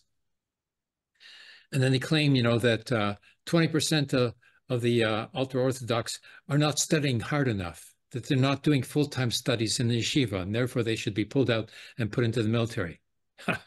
wow. You know? Yeah. Wow. I mean, how do they know, first of all, you know, that these students are not studying hard enough? You know, they're not in there. They're not in yeshivas. And second of all, the uh, the ultra orthodox, you know, they're demonstrating. They're blocking the streets. They're getting beaten by the police. They're being dragged away. Everything is happening to them, and uh, they will not go into the military. There's a few who have gone, you know, because of the privileges involved but they're irrelevant. You know, the vast majority of the ultra-Orthodox will not go and fight for the Zionist regime. They're not Zionists, even though, you know, their political representatives, you know, are part of the, uh, are part of the Zionist government, you know, that is conducting this genocide right now. Oh, so question is, how effective can the Jewish opposition be in taking on the Zionist leadership? Actually, very effective, very effective. I'm so surprised. Yeah, you know, yeah, the anti-Zionist Jewish organizations like uh, Jewish Voice for Peace and If Not Now, uh, they have forced uh, the like J Street and uh, the other, you know, uh, uh, um, what is it, uh, um, for peace, uh, something for peace. Uh, yeah, th those two big organizations that have, you know, like a mass membership, right. they have come out in support of who? Chuck Schumer, who just called for the downfall of the Netanyahu government, which is basically calling for a revolution against the Zionist regime there. it's not worded as such, but that's what it is and that's what it's how it's treated as, you know, by the Zionist, you know, ideologues who are denouncing Chuck yeah. Schumer for speaking out at a time when all Jewish people have to support, you know, the Zionist government because it's a time of war, and you're not allowed to criticize the Zionist government because it's wartime, and they're defending the Jewish people supposedly. This is the you know dogma that's that's fed to everybody. It now sure he's is. broken that. It's gone. You know that whole sort of you know uh, uh, uh, prohibition of dissent uh, by Jewish people against the Zionist regime is gone. It's blown away. And then it was followed by the abstention of the United States government, which means nothing, but, you know, it's still, they wouldn't have done it otherwise if there wasn't the pressure being put on them. So. That's right. You're right, brother. You're right. I mean, all, all the points you're, all the points you're making are leading to the inevitable victory for the Palestinians. The question is, how long how much longer will this go on? I would say decades, if not centuries. That's my opinion. And how can we make sure that those of us who are not in Israel are who are not in Palestine, who are not fighters there, how can we how can we be sure to build a movement that will support them from this point on? We will overcome the Zionists. Yes, I know that for sure because you know when I speak with the, uh, the the Jewish people, you know, who have been indoctrinated by television news, uh, you know, on the vigil, there's a change happening. And uh, they are beginning to realize, you know, that there's something going on here that they don't want, but they still feel compelled to go along with it for the time being. But they will not allow it to continue. Now, the question is at what cost to the Palestinians? Yes. At what to the Palestinians? You know, if we look back at other revolutionary struggles, you know, in Vietnam, you know, uh, I've read accounts that there was 1.3 million, or perhaps up to 3 million Vietnamese who were who died, you know, during those wars. You know, both the French and the American wars uh, of uh, counter-revolution in in Vietnam, and they won. They wouldn't give up even you know when the first two offensives you know took place and there was a, a, mass loss of you know Vietnamese fighters, nonetheless they carried off a third offensive, which was successful, and that was you know General Tran, who organized right. those three uh, offensives, and he didn't have the full support of the entire you know Politburo you know of the Vietnamese Communist Party. It was you know a very iffy thing there you know because they were uh, they were beginning to back down but uh, yes. but uh, but they persevered. You know, the steadfastness. You know, it's so important for the Palestinians. You know, like worked for the Vietnamese. Then let's take on, on the uh, the example of Algeria. During the French occupation, the France occupation of Algeria, there were millions who were lost there too. They were genocidal. They were wiping out, you know, uh, anybody and everybody who they thought, you know, might be a source of revolutionary uh, action in Algeria. And they lost, uh, from what I remember, up to 3 million Algerians, you know, were killed by France. And France has never apologized, never done any sort of compensation, has never right. done anything, you know, to make up for that as well. But there in in Algeria, you know, they were able to overcome the uh, fr uh, France occupation, and the uh, the French colonials uh, citizens who were there and taking advantage and and and uh, enjoying the privileges, you know, of colonial rule, they left. They went back to France. Okay, and they tried to wow. carry out a, a a coup d'état against General de Gaulle, who was initially a rightist, you know, but he realized, you know, that they could not win there, and he pulled out of Algeria. And because of that, the French colonials, who were the the super fascists, you know, you know, thought of you know assassinating and even you know carrying out a coup d'état against you know General de Gaulle who was the president at the time. But they failed, okay? But the problem here is even more intransible because the, uh, the Jewish Israelis don't have, you know, double citizenship except for 17%. Wow. And Wow. uh, you know, low. 70% you have citizenship from either the United States or England or France or uh, uh, or whatever, you know, and they could leave. But those are the ones who are the most fanatic, you know. Like, so they, you know they they're there, you know, because they want you know the colonial privileges that go along, you know, with their rule, and so they will not leave easily. But that's only 17% in any case. The rest don't have anywhere to go. So, the United States is is not going to accept five five million Jewish Israelis Nope, have will not on happen. Will know, not happen. Will not happen. Nope. will not happen. You know, you know, you know they, they wouldn't even let Jewish, you know, refugees in after the Holocaust. You know, never mind. You know, Yeah. at this yeah. point here. I'm sorry. I mean, I- but but if they do show up, my friend, I guarantee you, they'll give them citizenship as quick as they can. They'll become citizens as quick as possible. Hmm. Yes, they will because they'll they'll keep them being Oleg. So, how to deal with the uh, the Zionist movement is again by the internal Jewish revolution against the Zionist parties, and this Yes. has to happen not only here in the United States, it also has to happen inside of Palestine. There has to be an overthrow of all those political parties, including the Labor Party, the Zionist Labor Party, you know, which is a member of the Second International still, including the PLO. You know, the Zionist Labor Party has got to go. It has to be expelled from the Second International. Israel has to be expelled from the United Nations General Assembly. There has to be a general overturning of the Zionist power base within the Jewish community and internationally in the United Nations and elsewhere. And sanctions, they have to be, you know, totally isolated, both diplomatically, economically. And then, you know, there's also the addition of the Yemen offensive against the Zionist regime. Yes, again, the hidden story again. The hidden story. Yeah. The hidden Well, story. but I feel I feel not only sort of wasted, you know, because of fasting. I feel so weak, you know, politically. Because when I go there on the on the vigil, you know, last week there was one, you know, Jewish anarchist guy, Max, the bookseller, came by, you know, had a few things to say, and then left. You know, like he couldn't think, you know, it was in, inconceivable for him to stay there, you know, and keep the vigil going together with me. You know, Yes, it is. It is. and then the other, you know, like a Jewish anarchist, you know, who lives in the area, Leslie. I will denounce him here and now. You know, like Leslie, you know, he only showed up once and he hasn't shown up again. And then the others, you know, the other Jewish uh, radicals, you know, like who are assimilationists, who never identified as being Jewish before, all of a sudden discover that they're Jewish, you know, because it works, you know, to get some attention, you know, when they denounce the Zionism. Okay, fine. But, you know, when it comes to sort of, you know, dealing with and educating the Jewish community, no, Right. nothing.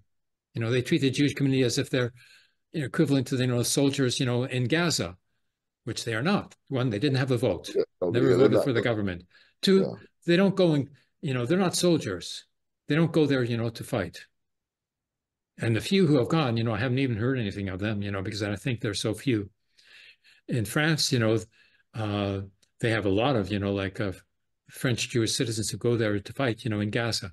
Right, right, right, right. I remember. But South Africa, you know, the Jewish South Africans who come back, you know, they get arrested, you know, because they're criminals. You know, that's what happens to you know real criminals like that. Put them in jail. Yeah, I'm telling you, so they won't go back again. Yeah, Uh, yeah, yeah, we want to. We need to put them in jail. I agree. Yeah. There's a lot. There's a lot for us to do, my friend. There's a lot. There's a lot for us left to do. But we have to be steadfast and continue to struggle because our brothers, and sisters, our people in Palestine need our support. Period. That's it. yeah. So I have to issue an appeal here, you know, to to other Jewish people, you know, here to share this video, the one with Ahmed as well, to tell other Jewish people that they have to sort of, you know, step up. This is the time for them to step up. Otherwise, th- they will be denounced, you know, forever, and their children will be denouncing them forever as well. Well said. Now is the time to step up. Now's the time. Now's the time. Yeah, yeah. Okay, I'll go back tomorrow. But uh, the camera on. Yeah, the camera has to be on all the time, you know, because I, I'm getting attacked. All the time, all the time. I'm not only getting attacked, you know, by, you know, the uh, young women and and middle-aged women coming up and shouting at me, you know, like shouting into my face, you know, like you can see it all there. There's also the the men who come to attack. Last time, you know, that I got in, there was an attack, you know, some guy who was supporting genocide, basically. And so I got pissed off with him. And so he came and tried to rip off, you know, the painting that I have up on the lamppost, the one that says, you know, one Holocaust does not justify another. Yes. He damaged it a bit, you know, but he didn't tear it. And I fixed it up and I'm going to be putting it back up, but higher. Because it's the All second time that that painting got attacked. They cannot take that. They cannot take it, you know, because they realize, you know, when one says, you know, one Holocaust does not justify another, that they're doing something that they will condemn themselves. They condemn the Holocaust, and yet they're committing another Holocaust, and they cannot be, you know, uh, told that they are doing it, you know, because they're too neurotic, you know, a psychotic, neurotic, you know, mentality that these that these Zionists have is just incredible. So you know, has to be defended against. And that's the second time, you know, I, I had to use, you know, the bamboo pole, you know, holding up the banner to ward off this guy. Wow. So, you know, uh, he had to let go of the of the painting when I uh, uh, when I basically, you know, uh, took a took a swipe at him with the with a bamboo pole, but uh, but uh, he grabbed hold of the pole, and I had to sort of, you know, uh, got it, get it released, you know, and he he had an advantage on me there, you know, but he still had to back off, and uh, so that was uh, that was uh, successful enough. But uh, That- that- it's going to happen again, you know, and I'm going to fight him off again, you know. That's that's it. That's all. That's all we can do.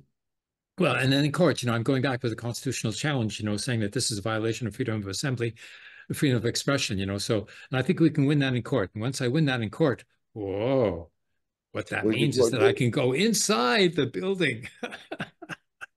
I'll be able to go inside to any meeting.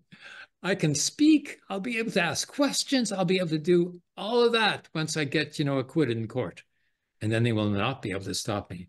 And They then we're going to see, Right. you know, something happening. You know, something's going to happen in Jewish community Something- because of this this Gonna have to happen. minuscule initiative. You know, like it's going to crack the whole thing open.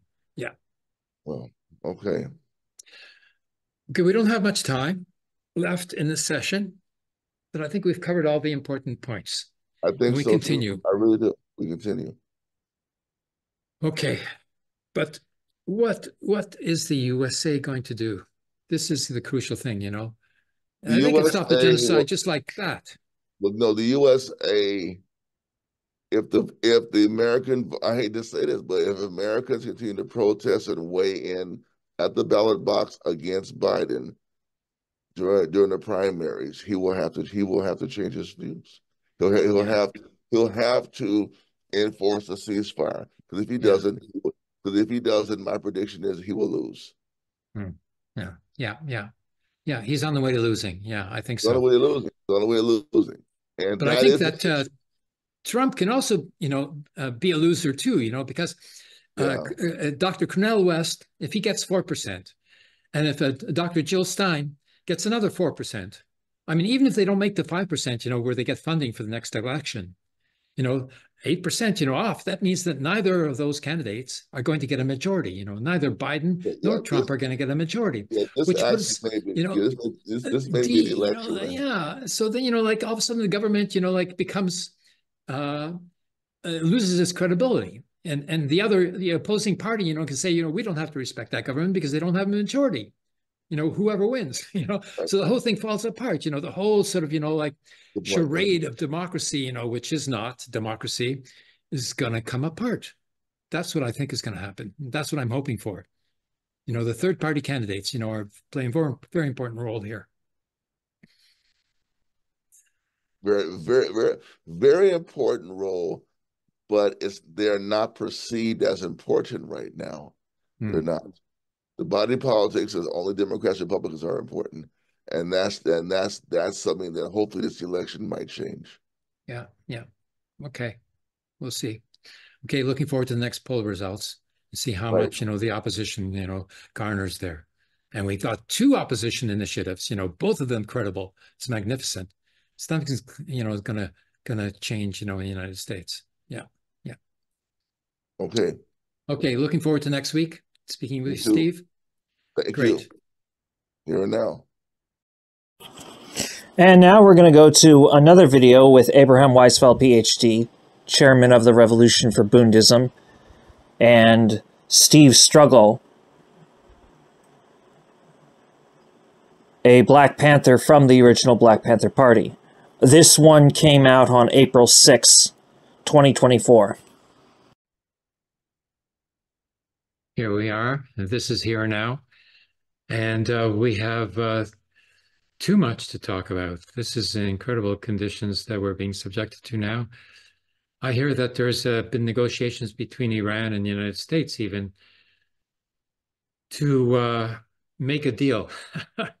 so Iran is going to retaliate against the uh, attack on its consular offices in ba Damascus. So they've agreed not to attack uh, U.S. facilities, and U.S. is not going to complain when it attacks uh, Israel's facilities. what kind of a deal is that? Bizarre. Well, uh, Abraham, I, I stay. I, I want. Let me start again. Hello to everybody who's watching the program. Thank you for thank you for being here with us. Please uh, like, subscribe, and share our uh, broadcast with others. We can increase our number of people watching, and um, please send us your comments.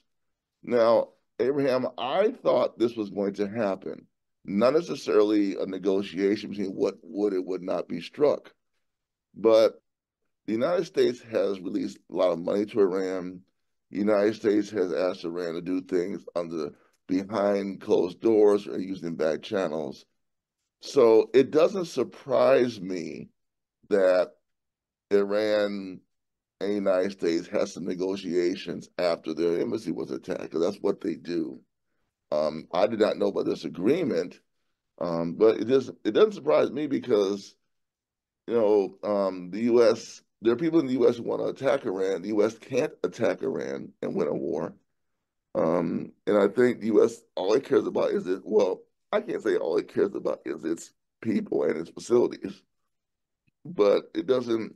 I'm not surprised to hear. I guess I am surprised to hear it openly being discussed but it would not surprise me if they were having discussions because bombing of an embassy is an act of war. There's no two ways about it. Israel knew that when it did it. It knew exactly what it did and why it did it.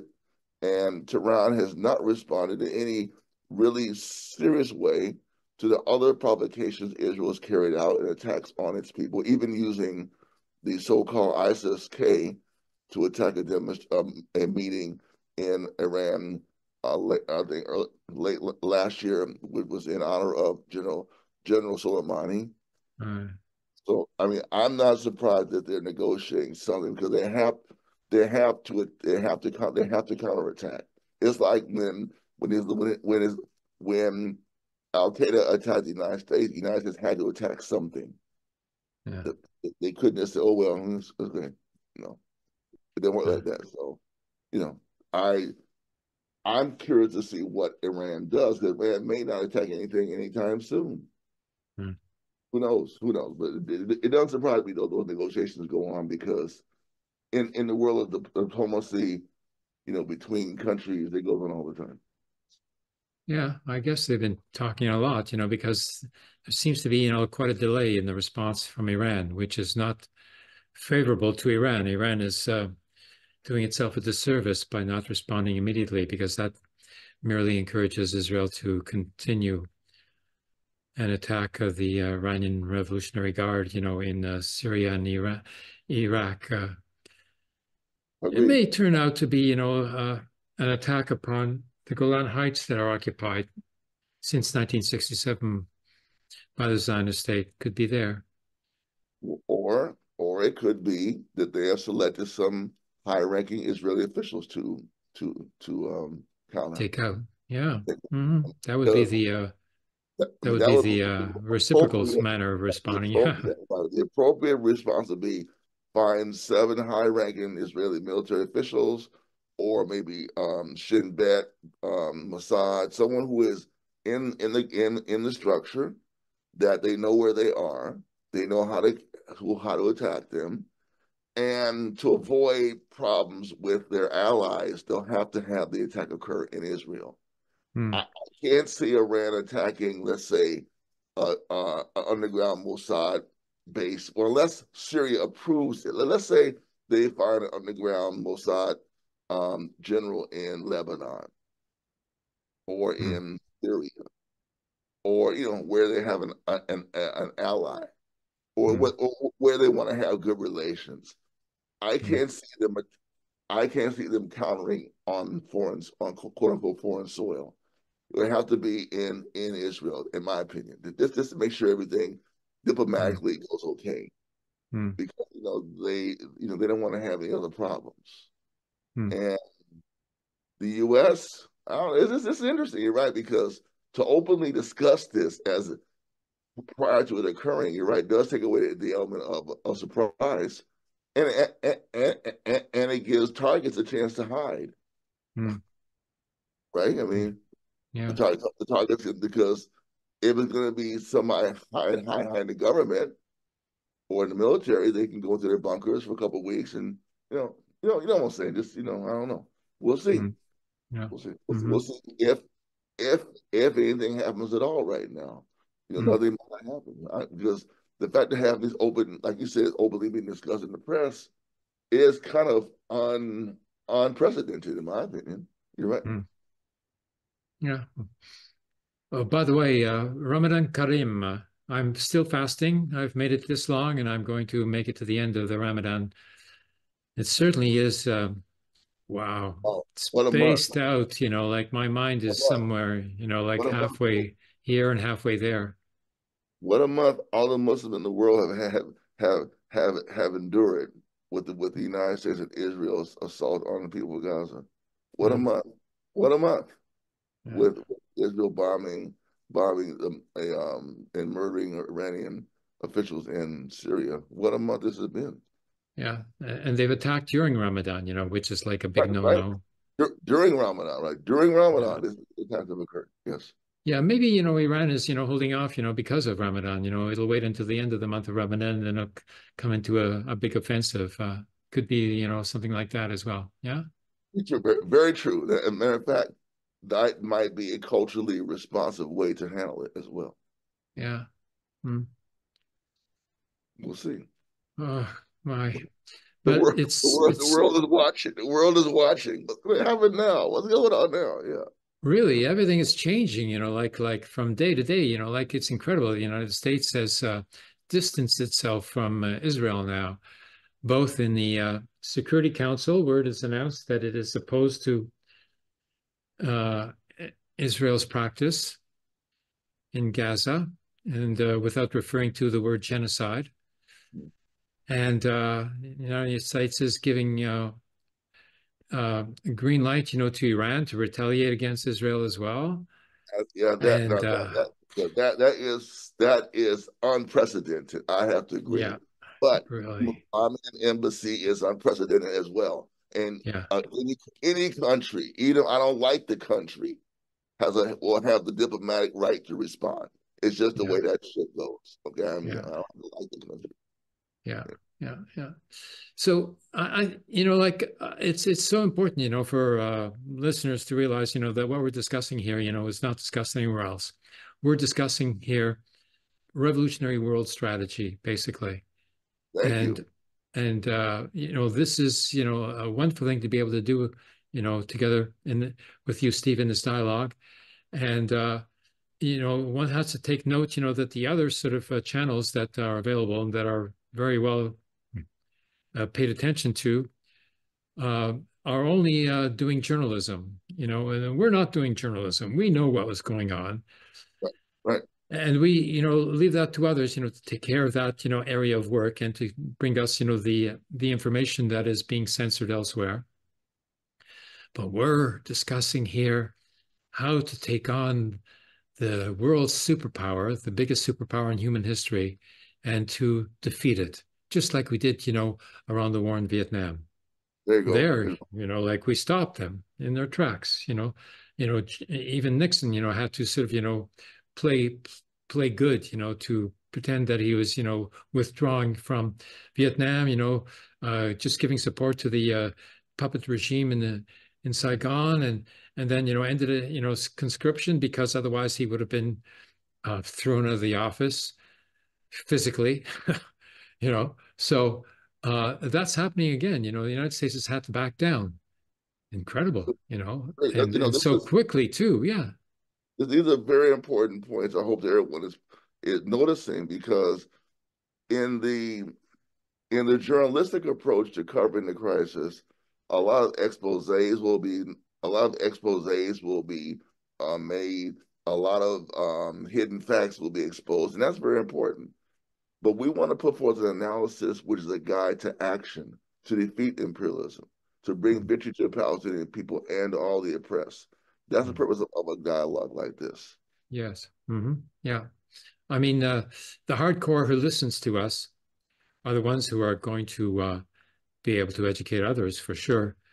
But, uh, you know, the time is now for revolutionary theory. This is not, you know, something that uh, is. Uh, uh, I was trying to think of an expression.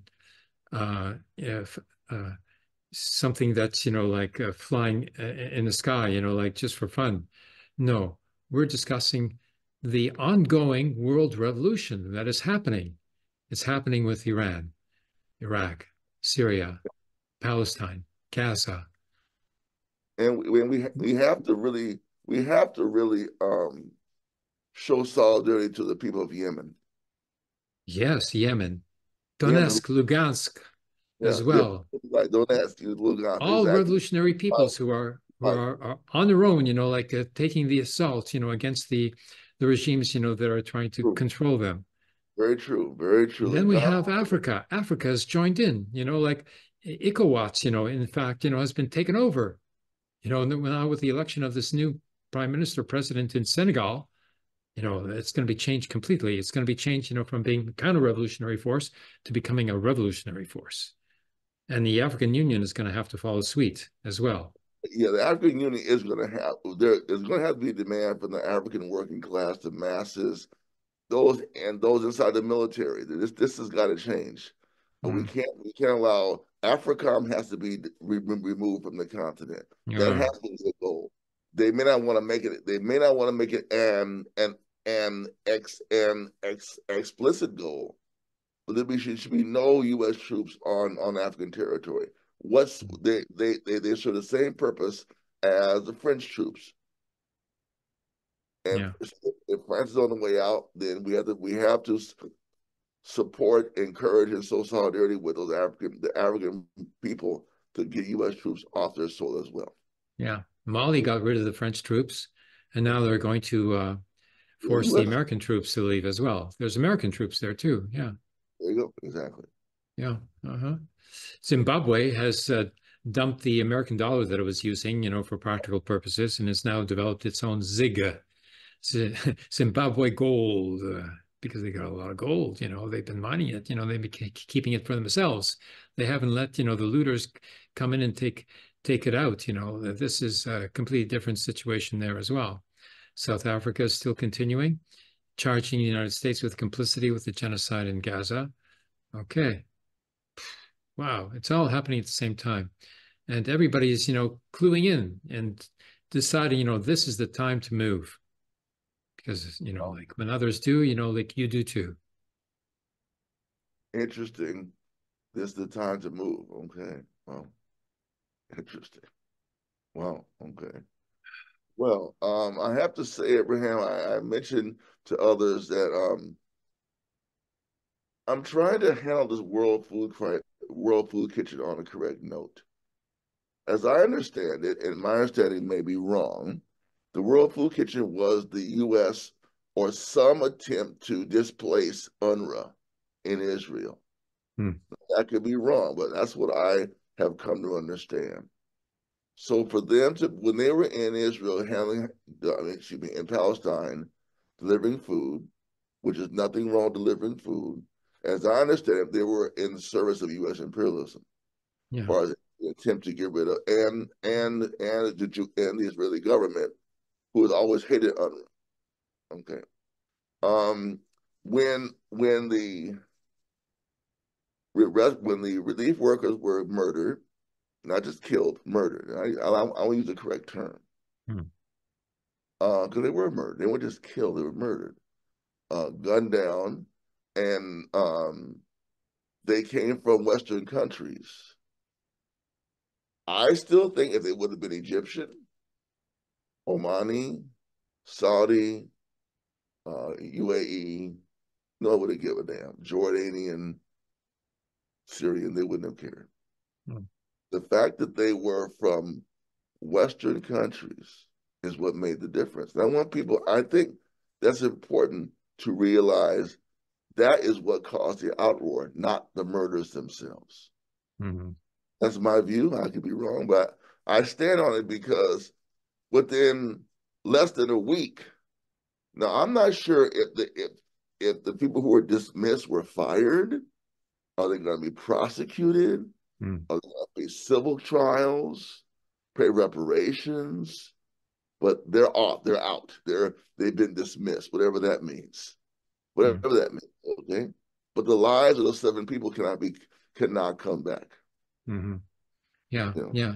The Zionist officers who have been sanctioned have been demoted or something like that. But that's it. You know, like Zionists expected it's going to, you know, stop at that point. You know that there, there's no need well, for any prosecution. They don't want to talk about this anymore. They don't want evidence to be presented. I want. I. I mean, I usually don't say this, but I think every government and United States won't do it because I, I, every government, every family of those people needs to, to get us to, to to not stop now. Hmm. Your your your son and daughter, your your husband and wife, your aunt or uncle, your cousin, your niece, your nephew, was murdered by Israel. It's about time somebody makes them pay pay for murder. Now, mm-hmm. they murder Palestinians left and right. Nobody ever pays mm-hmm. at all. They never pay. They, there's no consequence for murdering a Palestinian. None. Yeah. Yeah. So, I hope that the good families and the governments get together and make Israel pay. Firing yeah. them, firing, firing, or removing them is not enough. Mm. They were murdered, and we still haven't. Somebody needs to release those videos. Yeah. In the Israeli government, in the Israeli military. Put them on the internet. Let's because that will help keep the movement alive to show yeah. the savagery of what occurred. Yeah. That's how I see it right now. Yeah. Because removing them is that's that's that's that's a that's a little it's a, it's a big step, but it had to happen because they were not Arab or black or brown. Yeah and from from Arab or black or brown countries. Hmm. That was going or Asian. They were that was going to happen. Yeah. You know, that's that's how that's that's how they roll. We'll throw someone under the bus. Oh, we're sorry. We're taking accountability. Okay. What what what is accountability? Saying you're hmm. sorry? I don't think so. Yeah. Yeah. you murder somebody. You you openly tracked them down. You shot three. How, how many people know the whole story? Hmm. Three cars were bombed. Three cars were, yeah. were shot into by drone by drone operator. Three, not yeah. one, three. Yeah, three attacks. Yeah, yeah, was three attacks, not just one. Yeah. This was a cold blooded, mm. mm. murder, mm. and they kept killing until they kill everybody. Yeah. So the dismissals are not enough. Yeah. I mean, that, that, I'm not sure it happened the first time. When oh, we got to go hmm. do that. Uh, not there need to be trials all the videos need to be put on, uh, made for the world to see. Hmm. Be, the, the, whole Israeli engagement, the entire Israeli engagement uh, process needs to be uh, shown to the world. I even heard um, that there's a thing called a kill zone. I don't know if you heard this story. Yeah. There's, there's supposed to be a kill zone now. That anybody in the area can, will be killed, just mm just like in Vietnam, the free fire zone. And in the free fire zone, anything was killed, the the, the, the were burned in the ground, etc. Yeah. So you know, let's talk about that. Let's you know, if if that doesn't, you know, I'm saying this, if this is used properly, and I hate to say this, But sometimes when they kill white people, things happen. yeah. yeah. I'm, I'm sorry. It's just this is it's a terrible world we live in. Yeah. You, you, Yeah. you touch white hair. Oh my God. Oh no, we have to stop. Wait a minute, it's too much.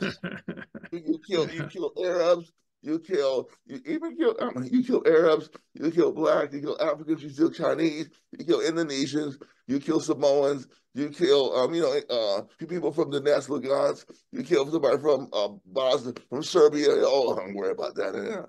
Yeah. yeah. Worry about Yeah. that. You kill, you kill French, English. Oh no. Oh, this is horror. Yeah. And then, you know, the genocide's happening in Sudan and Congo. Oh, well, that doesn't make mainstream Oh, news. well, that's not important enough. That, oh, oh well. Oh well. Who? Oh, uh, uh, yeah. Okay. We we you know yeah. I, I yeah. Anyway, yeah. We need. I hope those families don't settle for this. Yeah. Make them give you some big money. I'm not saying that's all you need. Get Yeah. all the documents. Sue them somewhere. Get the Yeah. documents put on the internet because your sons, daughters, husbands, wives were, were murdered by a Hmm. government who only reason it did anything because your government said, "What the?" Ima- Have imagine what was going on behind the scenes. Hmm. You imagine the phone calls that were being made and, and the meetings that were being held. Hmm. Imagine what was going on. You and I know there was some. This is serious. Oh, no! Yeah. And, and- and if the World Food Program and the World Kitchen is was being set up to supplant UNRWA, that really messed it up, didn't it? But the food, but it stopped. Israel wanted it to stop, didn't it? They they don't want any food delivered. But now they have to make some concessions. They their brazenness and brutality and uh, uh, assaults on humanity have forced it down to back up a little bit. Oh We'll yeah, see. yeah, yeah, yeah. We'll see, we'll see, we'll see. Yeah, We'll that's see. you know we keep on saying we'll see, but you know the United States, you know they said that they were going to force Israel to open up the uh, crossings to let the aid come in. You know because if they're I heard that. not allowing the aid come in, this aid, you know, of the World uh, uh, Kitchen, uh, 110 tons. Where did it come from? It didn't come from the crossings, not from the trucks. It came from that wharf, you know, the, that the United States is setting up there. That was U.S. aid that they were Oh, feeding in there There, there- because they have There to go. There you go. cover their asses, you know, because they're being charged with complicity in genocide, you know, by South Africa and the International Court of Justice. But what So you're now- saying, what you're saying is the people who were murdered, that that aid came directly from the United States. Oh my God. Yeah, yeah, that was their cover job, you know, and they and their cover job, you know, was messed up, you know, so that they're turning against Israel. They have to.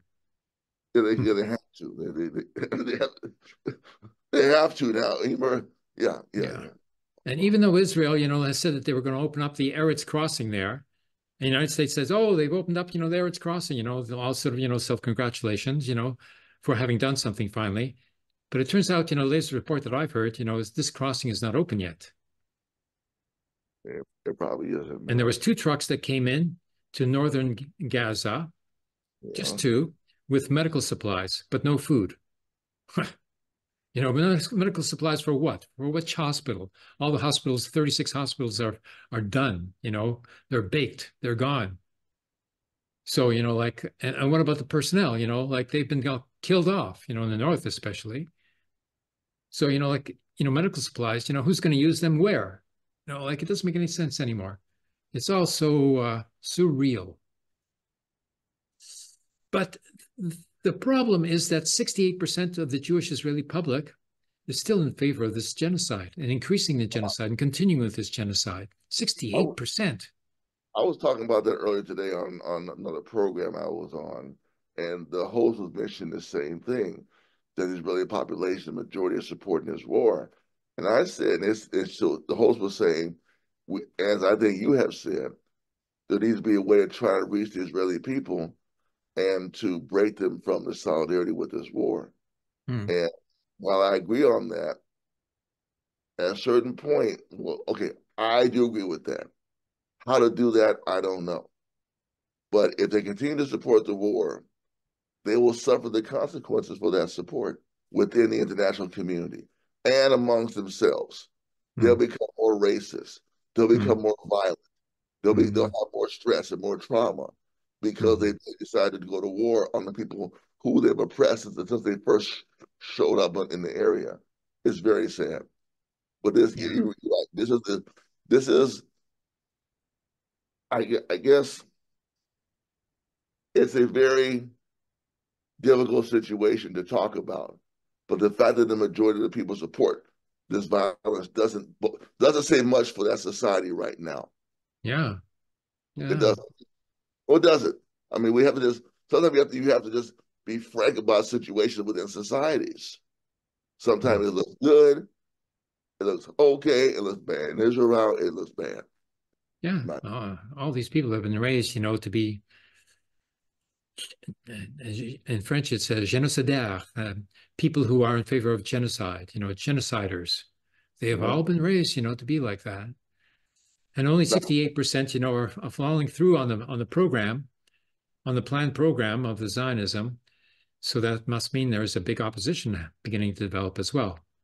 Good. Demonstrations certainly are growing. And uh, Chuck Schumer, you know, said that if Netanyahu has to go, I mean, you know, what's waiting in the sides sidelines there, you know, is worse than Netanyahu. But nonetheless, you know, he said Netanyahu has to go. You know, which means that that that whole governing coalition has to go. And if they're subjected to an election, they're not going to make it through an, another election. You know, their their support, you know, these uh, fascist groupings, you know, that are have have have stuck together there, they've been losing support. Not that the opposition is that much better. You know, the opposition is not, not you know, stated that they would be willing to end the war. No. It's it's you know it's just too much to take. Well, but I'm going to see what what's going to happen tomorrow. I'm going to go back to the vigil at the Jewish Community Campus. You know, I'll see what the Jewish community is reacting, how the Jewish community here in Montreal is reacting to this uh, U.S. Uh, change of heart. Uh, it should bring about a change in the community as well, but it's very difficult, you know, because the Montreal Jewish community is one of the most reactionary, conservative communities in, in, in all of North America. But I should certainly give it another try. So you know, yeah. it's it's and it's certainly very difficult to do so. I'm still you know fasting and uh, right. right. here at the end of you know Ramadan, you know, like I'm. It's uh, you know like it's in the in the weakest you know point uh, of all. You know, it'll be the one last vigil you know while fasting.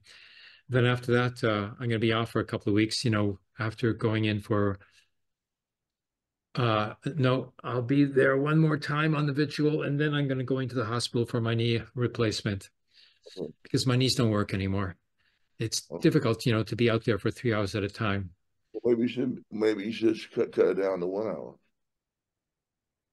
I'm just saying. Once I'm out there, once I'm out there, you know, I don't want to stop. you know, like oh, saying, because it's so effective. You know, like I, am motivated to stay. You know, like in place. So that oh, doesn't matter you know like i'll i'll keep it you know going uh, for another two weeks and then i'll, I'll have to um, uh, be in convalescence for uh, i don't know how long it'll take me to get back out there you know but way things are going you know like hopefully this war will have stopped by then if the united states plays its role as it should and if well, they don't want to be accused of complicity in genocide and condemned you know by the international court of justice which they will be in any case you know because they've waited too long you know, like six months of genocide, you know, is not something that can be overlooked.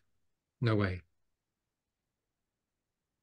Well, what I, I want to ask you this, you know, what do you think are the implications for the revolutionary movements around the world in the sense of we have an oppressed peoples, they're being assaulted, they're being genocide is being committed against them, and we do see people rising up around the world.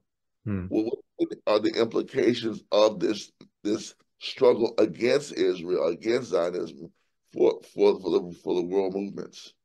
What do you, what do you think?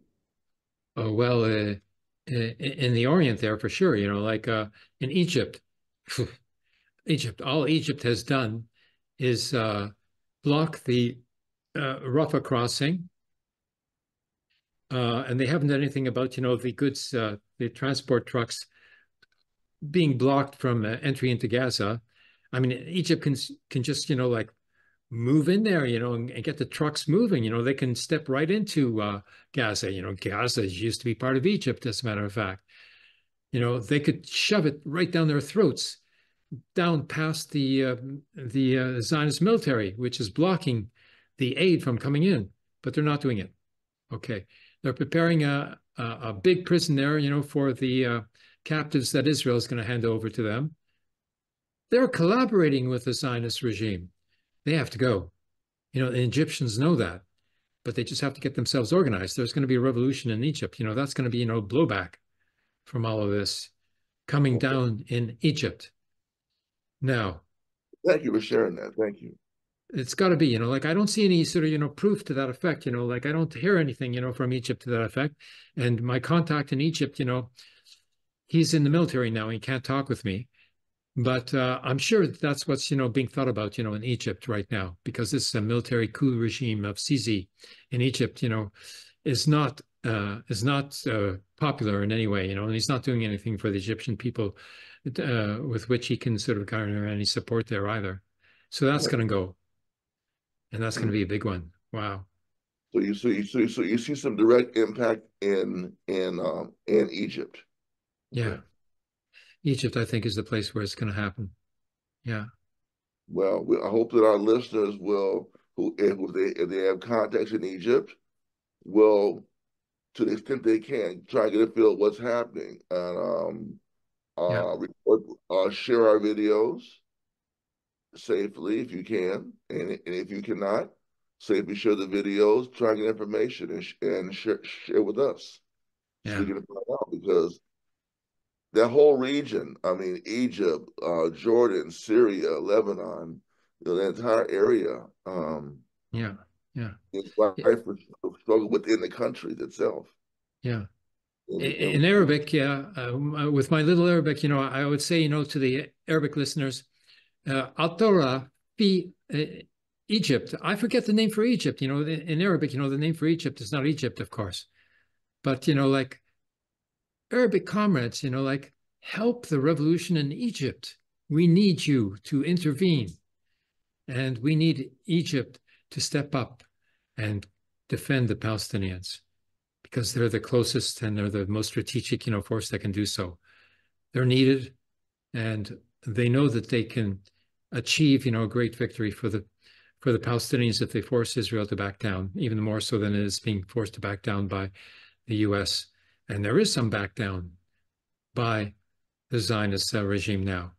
I mean, you know, like, what did he say? He said, you know, both presidential candidates saying this has got to end. You know, this war has got to end. Even Trump, you know, said the other day, you know, it's got to end. I don't know what he means, you know, by coming to an end. You know, he may even be, you know, advocating the use of a nuclear bomb on the place, you know, to bring it to an end. But nonetheless, you know, he's saying that it should come to an end, you know, which most people interpret as being uh, a halt of hostilities. So immediately afterwards, all of a sudden, Biden says, yes, it has to come to an end. you know, because he was being outmaneuvered, you know, by Trump. Trump was taking position to, you know, that was more progressive than Biden, you know, on this Gaza war. Yeah. You know, it just shows, you know, how out of it, you know, that Zionist Biden, you know, genocide Joe is all about. It's just incredible. It is incredible. It really is incredible what he, what it's all about. You're exactly right. Yeah, it mm-hmm. really is incredible. The maneuvering, the posturing, and yet the arms still get. But even but Abraham, Yeah. even all the statements, the arms and the money keeps flowing over there. Yeah. Well, the Well- last batch of arms was sent, you know, to Israel by approval from the administration just before Biden changed his position. Okay. What happens? What happens now? So now, you know, like Israel is is uh, is has got the arms, you know, to continue, you know, for another week or two, and then the deciding point of you know lack of you know ammunition is going to hit them, because I don't think the United States is going to be able to to restart, you know, its its its uh, ammunition feed, you know, into the war there, you know, because they've said it that they wouldn't do so. So that you know, you know, they can't go against themselves, you know. So this is a definitive change, you know, of policy of the U.S. administration, and it cannot be reversed. So I expect that the war will continue for another week or two, and then it's it's got to stop, you know, because they won't have the means to continue unless they get arms, you know, from oh, Germany. Yeah, Germany is going to feed them, you know, with uh, ammunition probably. Germany, uh, uh, I I heard a story this morning about Germany. It's not good, man. Uh-huh. I, our movement in Germany is being crushed by Yeah. the German government. Yeah. Yeah, I've seen videos of the police, you know, taking down even Jewish demonstrations against the genocide. Yeah. Yes, on the ground that they are anti-Semitic because they're, and they're against Israel's policies and practices. Yeah. So Yeah. our, our German our German allies need our eyes on the prize, looking what's going on and find some way of showing solidarity with them because they're not they're catching. Believe me, their bank accounts are being seized. Hmm. We start Mhm. taking their money. We, when we start taking your money, the, the government means business to shut you down. Yeah. Yeah. So they, they need. Yeah. I'm every time, every place I'm talking on the internet, I'm letting people know. Uh, get, on the internet, find some shows about what's happening in Germany. Show some support to those comrades and our friends and allies because they need our support. The German Yeah. government put, is putting it to them Yeah. in the same way that I mean Yeah. they basically have become the direct conduit of Israeli of the Israeli government on on the on the anti-war movement in Germany, and, and it's really a shame. Yeah. Well, Germany, you know, like they can't put people in jail, you know, that would be overboard. But, you know, they can take away people's means of of living and organizing. They've done that. Okay. I didn't know that, you know, but I did I, I, I just found this morning, and um, I perhaps we can. I, I'll send you the video that I listened to this morning. It was very graphic. I was I'm very concerned Hmm. about Germany. I've heard about activists who supported it, who support the special military operation. The same thing happened to them. They are Hmm. reporters in, in the Donbass. They're Hmm. reporters. Their money was seized from their bank accounts. Yes. Hmm. Yes. So Germany has been, there was a really dirty counter-revolutionary activity to those who show solidarity with the oppressed peoples. And Oh. more focus, more focus need to be put on Germany and what Germany's doing and why. just before we go, you know, we only have a couple of minutes here. I want to show you, you know, a letter from Einstein, you know, which is right on topic here. Yeah, that's Okay. right. That's right. So, yes. Let me show you that. Uh, I'll have to find it here, you know, because I forgot to set it up. You know, my mind is not working as it should. It's and okay. uh, It's working fine. okay, um, okay, uh, I'll look for it. You know, while while you give your concluding remarks. Sure. Well, uh, well, first of all, I want to thank everyone for uh, watching this broadcast again. Like, um, hit hit the notifications bell and share with your colleagues and friends. We are here to build a real movement for social revolution to to overturn the system of imperialism, be it be it be it led by the by the people of Europe, uh, the some reactionary countries in Asia, and um, uh, or, or or the United States. Our our movement is internationalist. We support the Palestinian people because they are oppressed peoples whose right to self-determination has been taken away by the United States through through the Israeli settler regime. We appreciate your comments and want you to get involved at the grassroots level to fight imperialism and to bring and, and to bring breakthrough to the oppressed peoples. Yeah, I found it. I found the letter. But uh, my sh- my sharing is not working. I don't know why. Well, Let me try once more here. Okay, there it is. Okay, let me show you this. Aha. In 1948, in response to the American Friends of the Fighters for the Freedom of Israel, Dear Sir, this is signed by Albert Einstein. When a real and final catastrophe should befall us in Palestine, the first responsible for it would be the British, and the second Um, this is the part where I'm giving. this is the part where I give my final afterthought, and then I introduce you to the final presentation.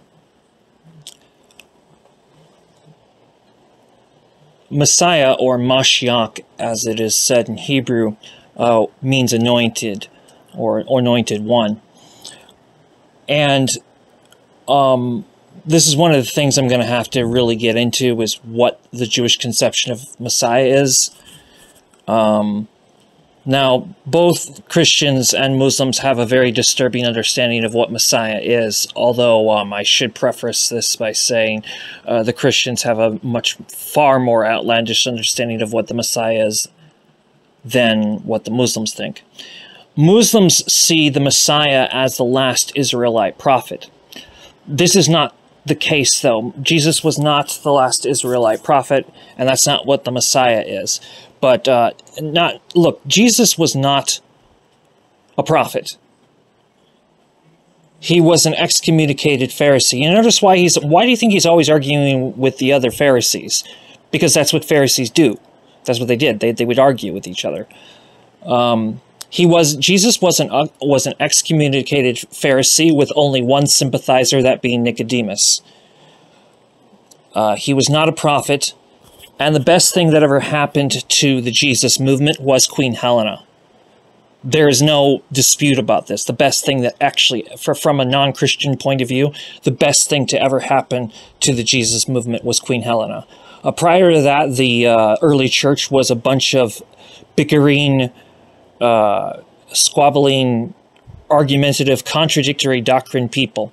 You know, ask yourself this question why does the New Testament have so many what would seem to be uh, unresolvable contradictions. And that's because in the unification of all the Christians, they took uh, different scriptures that conflicted with each other and they basically synthesized it through a doctrine. Uh, this doctrine is understood through the Nicene Creed, otherwise known as the Creed of the Apostles.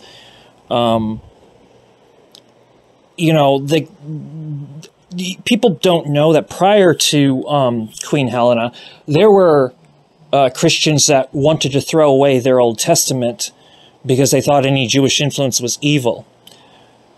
So you can the thing about Christianity is that it's, it's exclusively legend.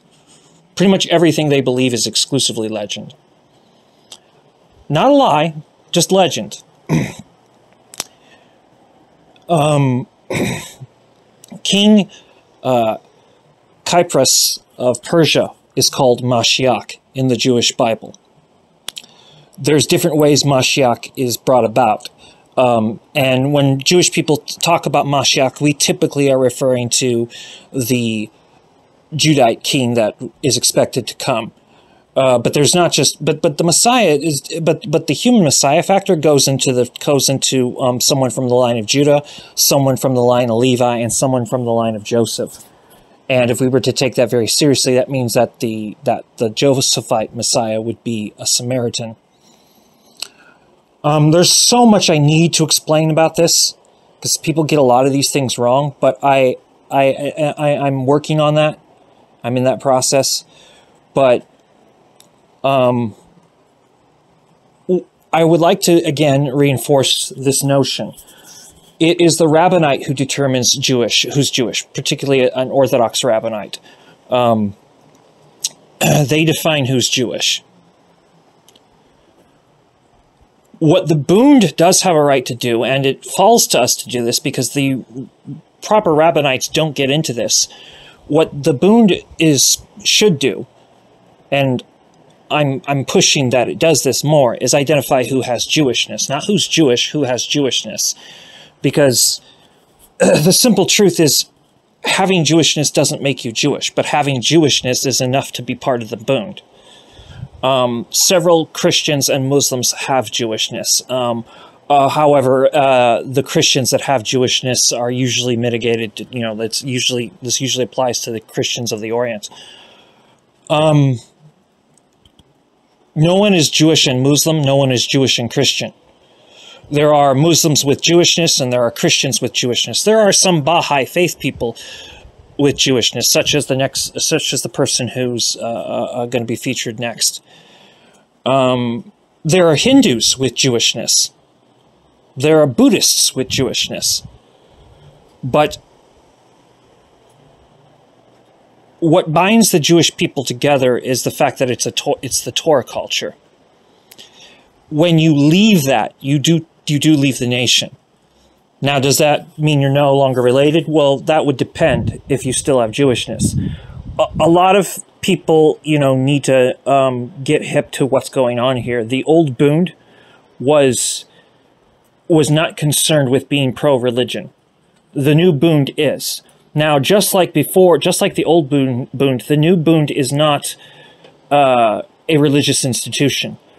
If you are found with Jewishness, but you've converted to a different religion, or if you um, are of a different religion and you've acquired Jewishness somehow, that is enough to be in the Bund.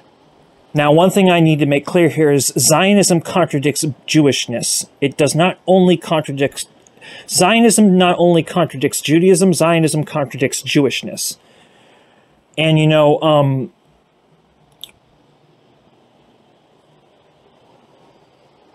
we have to we have to start taking um, this more seriously. Um, there has to be like levers and measures of you know res- res- reciprocity. So if you're if you consider yourself Jewish, but you're not actually Jewish, fine, so long as you have Jewishness, and you can't force Jewish people to acknowledge non-Jewish people as Jewish. Um, Another thing to remember is being Jewish has nothing to do with DNA sequences. It has nothing to do with race or or, or and or ethnicity. It has nothing to do with that. It has to do with a cultural religious practice. Uh, you know, it's a it, you know the the Jewish nation is a is a fraternal diaspora nation. Um, it is a people nation, not a nation state. Ham Ha Medinat Velo Yisrael. There is Ha Medinat Velo Yisrael. The state is not Israel. Um, and so, just for those that see this, just remember that what gives you qualification for Bundism is not being Jewish, but whether but if you have Jewishness, and this is something that Bund must you know consider itself with because the authentic rabbinites don't really understand what Jewishness is. And it's not that they wouldn't, it's that all this pressure of trying to conform within the world of the Gentiles has forced rabbis to basically keep Jewishness in the closet. Jewishness and Judaism are both features of the Jewish nation, but um, Jewishness goes beyond just Jewish people. Those who are related to the Jewish people have Jewishness. And, you know, you could be not born of Jewish parents, but spend enough time around Jewish people and, and then end up with Jewishness. And if that is the case, you probably should be in the Bund as well, um, because these things do happen. So I'm going to uh, finish this up by presenting you with Mark Foster. I have a lot more videos which I'm going to be putting out, but um, I think that a video focusing on the fact that there is a genocide going in Gaza, there's a genocide going on in Palestine. The Palestinians are an indigenous group which must exist. Palestine is the land of Jewish, Christian, and Muslim. It is the pan Abrahamic Holy Land.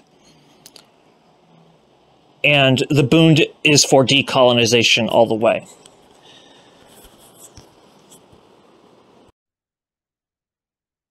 Hi, folks. This is Mark by Mark A. Foster, PhD, for the Institute for Dialectical Metarealism. Today, I will be talking about three subjects which I will relate to each other throughout this podcast. First, indigism. Second, Bundism. And third, Gaza and the Palestinians in general. Let me begin with some basic definitions of those terms. What is indigism? Indigism is a respect for indigenous people around the world, a respect for their rights. As I have mentioned before, one of the major characteristics that is shared by many, but not necessarily all, indigenous people is a love of the land, a loyalty to, to the land, the land often viewed as the mother. They are the children of the land. The land is regarded many times as sacred it is not a concept, sadly, I would say, that I can personally relate to, which means that I am not an indigenous person. Now, if you want to use the term indigenous in a very broad sense, we are all indigenous, meaning we all originate from somewhere, and I am no exception.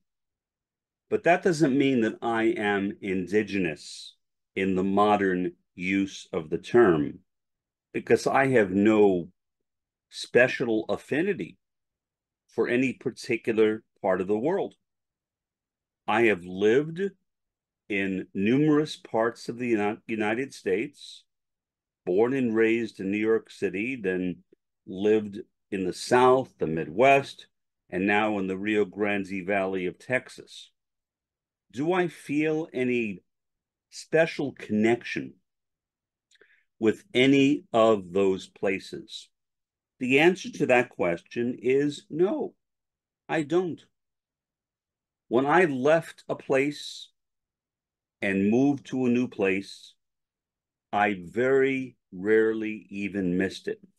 The one exception, I suppose, was when I left New York City. But in that case, I did not miss the land.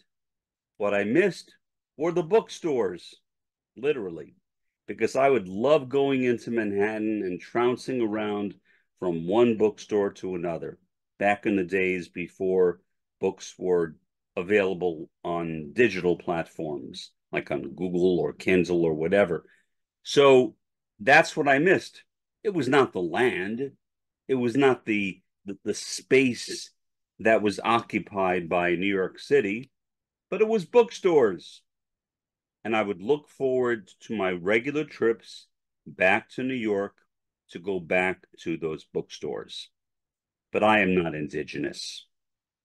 In fact, I know very few people and have known throughout my life very few people who were indigenous. So, indigenous people in my life have been rare. And I regret that. I really do. I wish that I would have known more indigenous people, but as a college professor, with what I did, living in university and college areas, you are not likely to meet that many indigenous people. Now, I have met some. I have been on some tribal reservations in various parts of the US. So I have interacted with some people who are indigenous, but not that many and some of my experiences on those reservations were rather sad because I saw the horrendous poverty which existed not, not on all, but on many of those reservations. And that's a memory that will stay with me for the rest of my life. I sometimes think of it literally as I am going to sleep. I recall this one place I went to where people were so poor, they literally had no food to eat in their home at the time when I was visiting it. That's how poor they were. So there are people like that, sadly, and many of them are indigenous who live under those circumstances. So I love indigenous people, but I'm not an indigenous person because, again, my ties to the land are basically non existent. I could really care less where I live. The only reason I moved here to the Rio Grande Valley of Texas is for its climate. That's it. Apart from that, I could care less. I feel literally no attachment to this place. And I feel no attachment to any place, to be honest. I wish I did. I wish I did, but I'm being honest. I don't feel any attachment to, to the land. I do not see the land as my mother, and I do not regard myself as a child of the land, which is, in my view, very sad because I think I'm missing out on something which is very important. Okay. So basically, what indigenism is, it is the respect which is shown to indigenous peoples. Doesn't matter where they are, whether you're talking about American Indians or Inuit people or Native Hawaiians uh, or um, the the Aboriginal people of Australia or the Maori people uh, of New Zealand, people like that, in my view, occupy a special place in the world, and they should be treasured, literally treasured and protected. Sadly, in many parts of the world, that protection is not taking place. An example along the Amazon River, there are many native peoples. Back in the 1970s, there was a movie made about these peoples. The movie was made in a very careful way so as not to disrupt the lives of the people living in those communities. They were fascinating. Some of them spoke with clicks. Many of them wore no clothing. Um, it was like entering into different worlds. They had no televisions, no radios, nothing.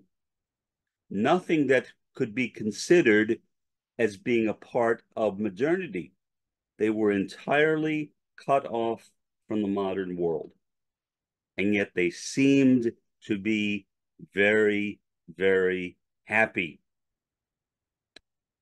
Now, if you go there, it is not like that at all anymore.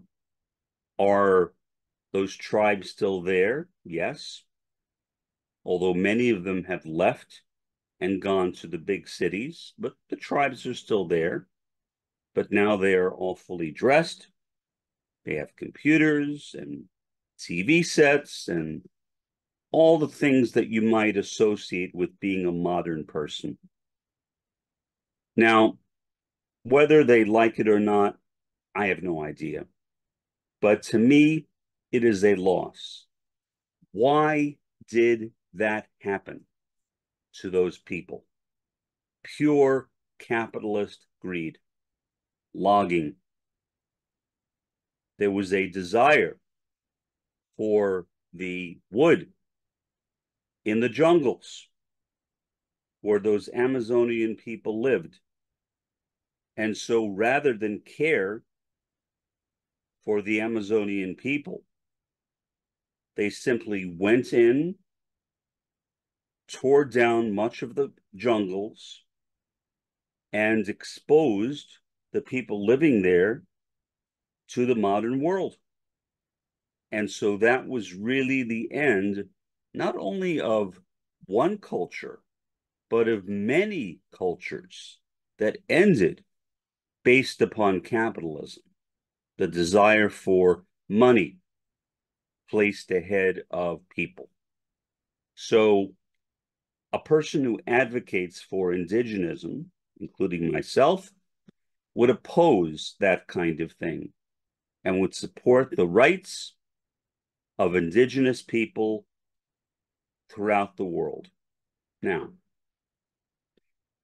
let's get into a specific category of indigenism. And that is um, the notion of the of the Bund. That is that is who the Boons who the Boons are. And I have taken some notes And so I will be periodically reading from or at least looking at those notes, which again is why I have my glasses on. Um,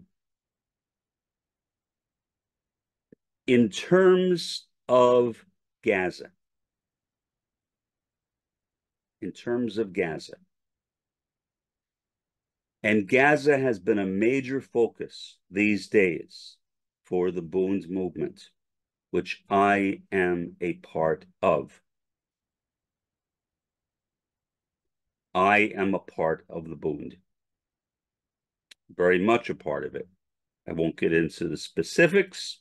I will just say that I am a part of the Bund, meaning an anti Zionist movement which respects the rights of Palestinians, which supports the rights of Palestinians. Now, the Bund existed once before and disappeared. So now this new Bund was started primarily by Abraham Weisfeld and a few others. Uh, it has some similarities with the old Bund, but not entirely. For example, the old Bund was entirely secular. The new Bund is a mixture of secular and religious people. Now, when I say I am a part of the Bund, I am making a somewhat controversial statement. Here's why. Although I am from an Ashkenazi Jewish family, and if somebody called me an Ashkenazi Jew, I would not object, although I would clarify it to say, yes, I am an Ashkenazi Jew, but when I was 14, I converted to another religion, which is true. I think that would be accurate and honest. Um, so because I converted to another religion, some people may have problems with my calling myself a part of the Bund. Not me, I don't, but I can understand why why some people would. The leadership of the Bund does not have a, a problem with it. So I'm so I am accepted as being a part of the Bund. And I love the Bund. I despise Zionism and I love working with other people of Jewish ancestry who, like me, are anti Zionists and, like me, are pro Palestinian. The Palestinians are the indigenous people of that area. The Israelis are not. But we'll get into that in just a bit. The Israelis can only claim, I wrote, to have an indigenous ancestry in the distant past based on sacred history. As any historian knows, sacred history is legend, not history. So, for example, the Tanakh, or Old Testament, and the New Testament are both legendary. Why? Because there is no real historical evidence to support most of its content. Uh, like there's no historical evidence that most or any of the individuals mentioned in the Tanakh, like Moses, for example, ever existed. I once had a uh, what I think of as a rather odd conversation with a Christian, I guess fundamentalist or evangelical, whatever. And he said to me that there is more evidence for the resurrection of Christ than there is for the existence of Napoleon. And I turned to him and I said, You've got to be joking. Says, no, there is. And I said, By evidence. What do you mean? Well, it's discussed in the Bible. And I said, Well, problem. The Bible is not history, meaning it is not based on primary historical sources, eyewitness accounts. It's not. And so, because none of either the Tanakh or the New Testament is based on primary historical data to claim that either of those parts of the Bible uh, are history would be a lie. Obviously, he didn't agree with me, but the conversation basically ended at that point because he realized, I guess, that he was not going to win me over uh, to his side of the argument. And of course, there was no way that he could do that. I mean, I know what history is. I've studied history. My PhD minor was in history. So I, I know how to define it, and I know what is history and what is sacred history. And the Bible is a collection of texts which can be called sacred history, meaning they're historical documents which are used to support the belief systems of particular religious organizations. That's it. That's what sacred history is. It's nothing more than that. Um, and so, no, the Bible does not contain history. Now, there is one slight exception to what I just said, but it's not really much of an exception, and that is the existence of Jesus. Although it is still reasonable to debate the idea of whether Jesus actually existed. And people on both sides, and I'm talking about academics, not believers, can say, yes, he existed, or no, he did not exist, and both could produce evidence to support their statements.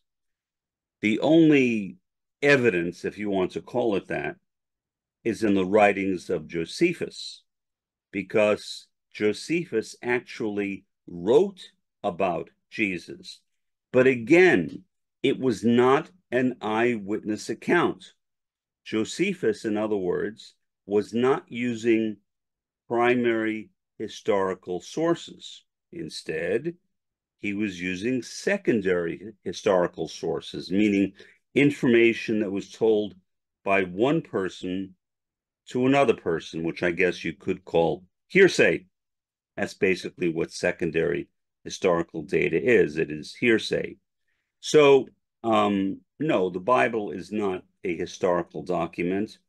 And even if you look at individual books, um, individual books, it would appear in many cases, were written by different people, meaning the same book has content from different individuals. People who claim that the five books of Moses or the Pentateuch or the Torah, same thing, uh, were actually written by Moses, have a really tough burden. Why? Well, a number of reasons. But the main one is that at the end of the book of Deuteronomy, which is the fifth book of the Torah, there is a long description of the death of Moses. Now, you can say, which some people actually have, well, Moses was a prophet, so he was predicting his own death. But if you read the account, it does not read like a prophecy. It reads like a story about something that happened. It's not a prophecy, it's a story, it's an account of what happened when this guy who may or may not have even existed when he died. That's what the story is about. It's nothing more than that. So, if we cannot take, especially the Tanakh, as a primary historical source, which we can't because it is not one, then the idea of the existence of an ancient Israel, or in Hebrew, Yisrael, is questionable. Was there ever an ancient Israel? Maybe, maybe not. Now, there is evidence that the land that was occupied by Israel, the larger piece of land called Canaan, there is archaeological evidence that Canaan did in fact exist. But as to the specifics of the existence of Israel, no. And the accounts in the Tanakh uh, about Israel are not supported by history either. There is no history. In fact, you can say for all intents, intents and purposes, history did not exist until about 500 years ago. There really was no history until relatively recent in the past. So the idea that the Jews lived in Israel, you can say it, you can believe it, but there is no real historical evidence to support it. What's more, the idea that the Jews are the chosen people. Okay, let's set aside the issue of the, the reliability and validity of the Tanakh. The term chosen people is not once, not once used in the Tanakh. It may be used in some other Jewish literature. I don't know, uh, possibly in parts of the Talmud, maybe, but I've asked people and they couldn't point me to any place. Um, so I, again, I, I, maybe they just didn't know themselves, but the people I asked were Jewish scholars and they couldn't point me to places either. So the concept of the chosen people is literally not biblical. A term that is close to that is used in the Tanakh, and that is God's treasured people. But that's not the same as chosen people. Chosen would apply a kind of privilege, a destiny, like you are destined to live in a certain land in the future. Treasured just implies basically that God loves you. Well, presumably, God loves everyone. So I'm not sure how that establishes Jews as especially unique, although I could be wrong. But again, this notion of chosenness, which, by the way, is not accepted by most Jews in the Western world. It is Orthodox Jews, traditional Jews, and conservative Jews, or at least some conservative Jews, who accept it. The majority of American Jews are Reform Jews.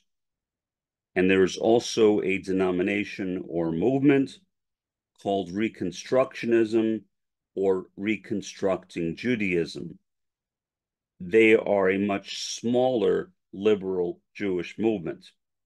They argue, no, Jews are not the chosen people. So they, they've entirely rejected that idea. So, in other words, most American Jews, if they are aware of what their movement teaches, assuming they even belong to one, reject the idea of the Jews as chosen people. I know my parents found that idea to be laughable. They didn't accept it. I found it to be disgusting myself. My sister also finds it to be disgusting. Most Jews I know don't accept it. I mean, it's not a popular idea uh, because it's elitist. It establishes Jews as somehow existing on some exalted level above other people. That's not a very nice thing to say. That's not a good way to look at your fellow human beings, to see yourself as superior to them. In academia, the term we use for that is triumphalism, meaning that that your own people have triumphed over everyone else. That's not a good way to look at other people. Really, it's not a good way. And I hope if you feel that way, that you will give it a second thought and give it up and begin looking at everyone else as your peers and not as members of your own particular religion as being the superiors of everyone else because you're not. You can take my word for it. You're not. I'm not. And I'm one of you.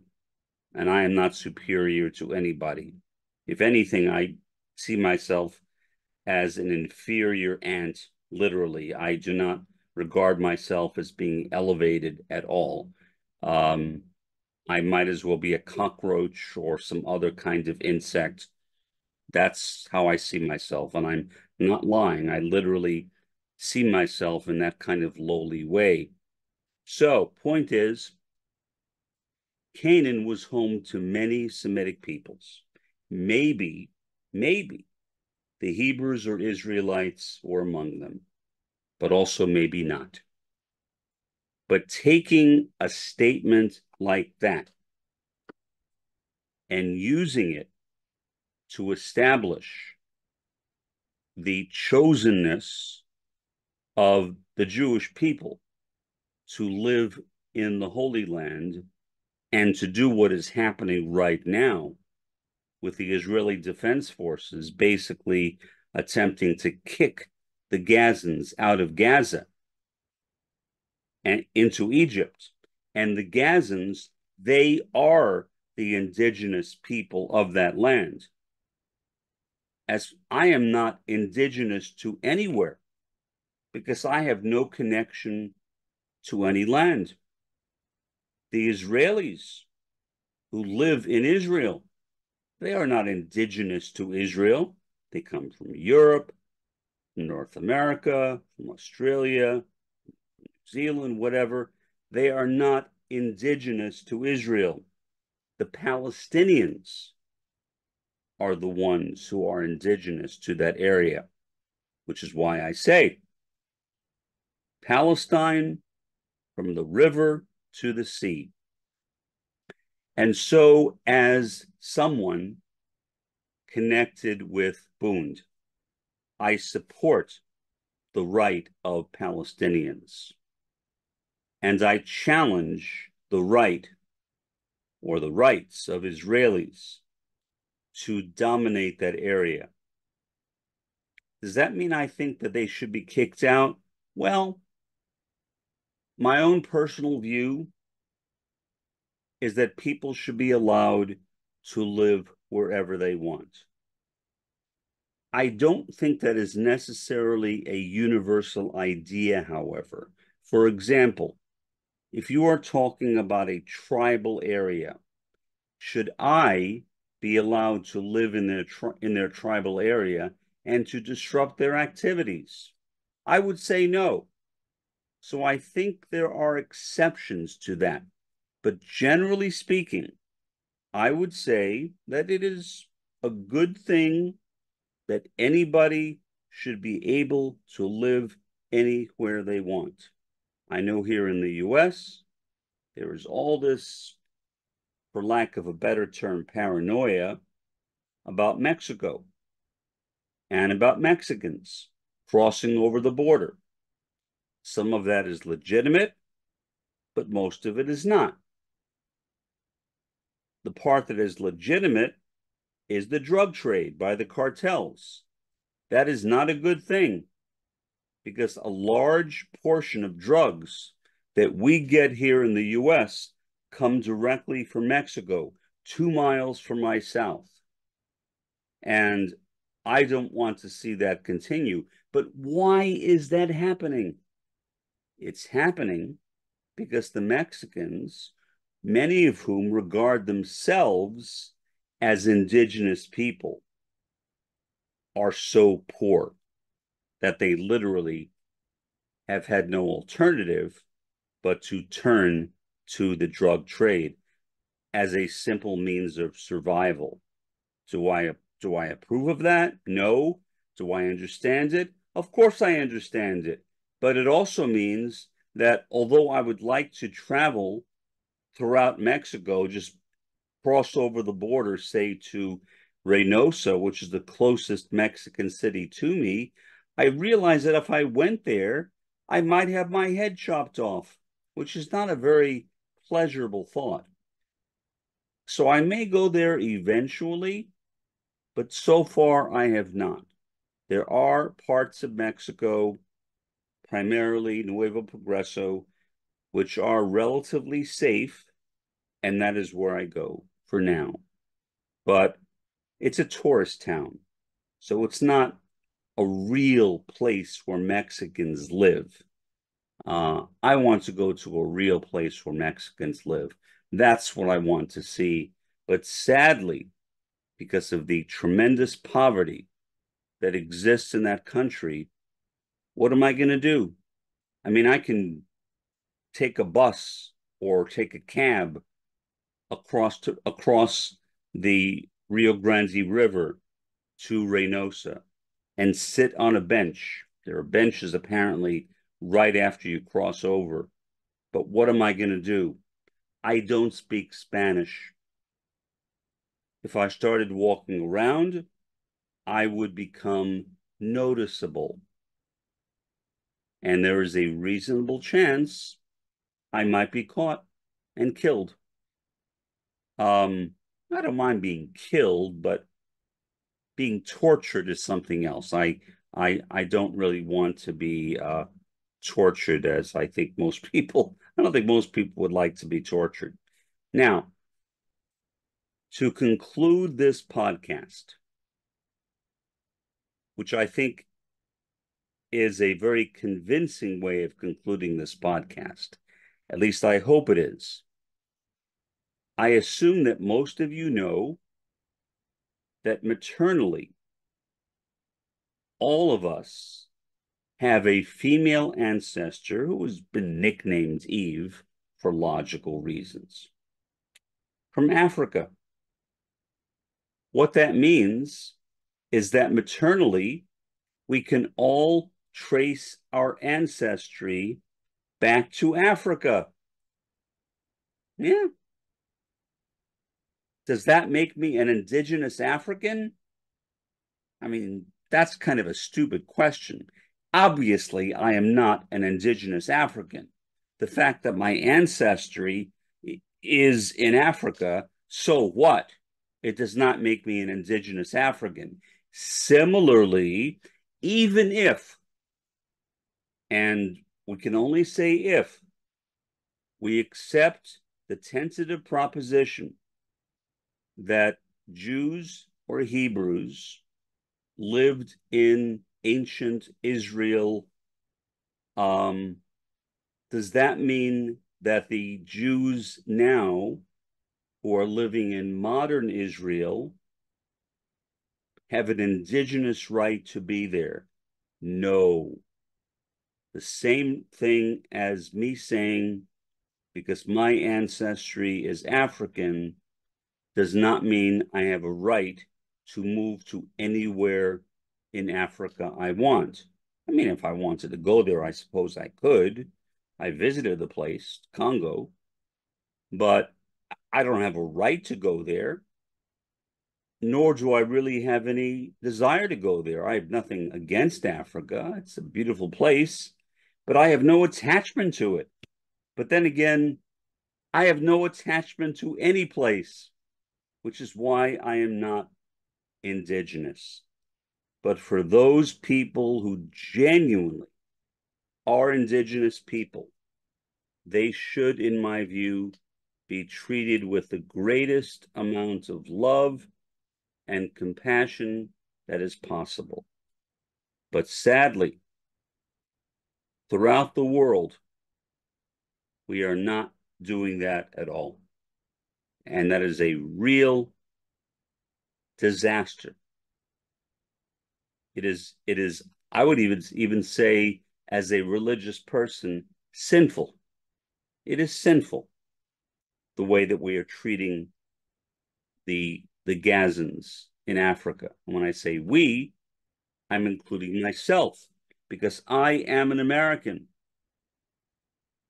And the war by Israel against Gaza could not be taking place if if it were not for um, well, if it were not for the United States. The United States is providing all the money, all the arms to Israel. They are allowing Israel to do this. So I think we are as sinful, again, using that religious term, as the Israelis. And I think that we deserve to suffer. I really do. I'm sorry for getting religious on you, and I, I don't like doing that generally, but I really think that we deserve to suffer. I think Israelis should suffer. I think that Americans should suffer. I do believe in collective punishment. Even though I am not a part of what is happening in Washington or what is happening in Jerusalem, I am still an American. And as an American, I feel as though I deserve a, por- a portion of the blame. And I should I have no right, in my opinion, literally, no right to continue living. Does that mean I'm going to commit commit suicide? No, I'm I'm not suicidal. I'm not going to take my life. That's not the way I am. But do I think I have a right to live? No. No, I don't think I have a right to live. Whether I live is not my choice. But but I feel that any American, any Israeli who is alive should be living on borrowed time. And that is literally how I see the Bund as a part of indigism. Respect for the indigenous people of Palestine and not for the thieves, the robbers that entered into Palestine and stole the land and are now trying to steal even more land than before. For the time being, this has been Mark by Mark A. Foster, PhD, for the Institute for Dialectical Metarealism. Have a pleasant day and a better day tomorrow.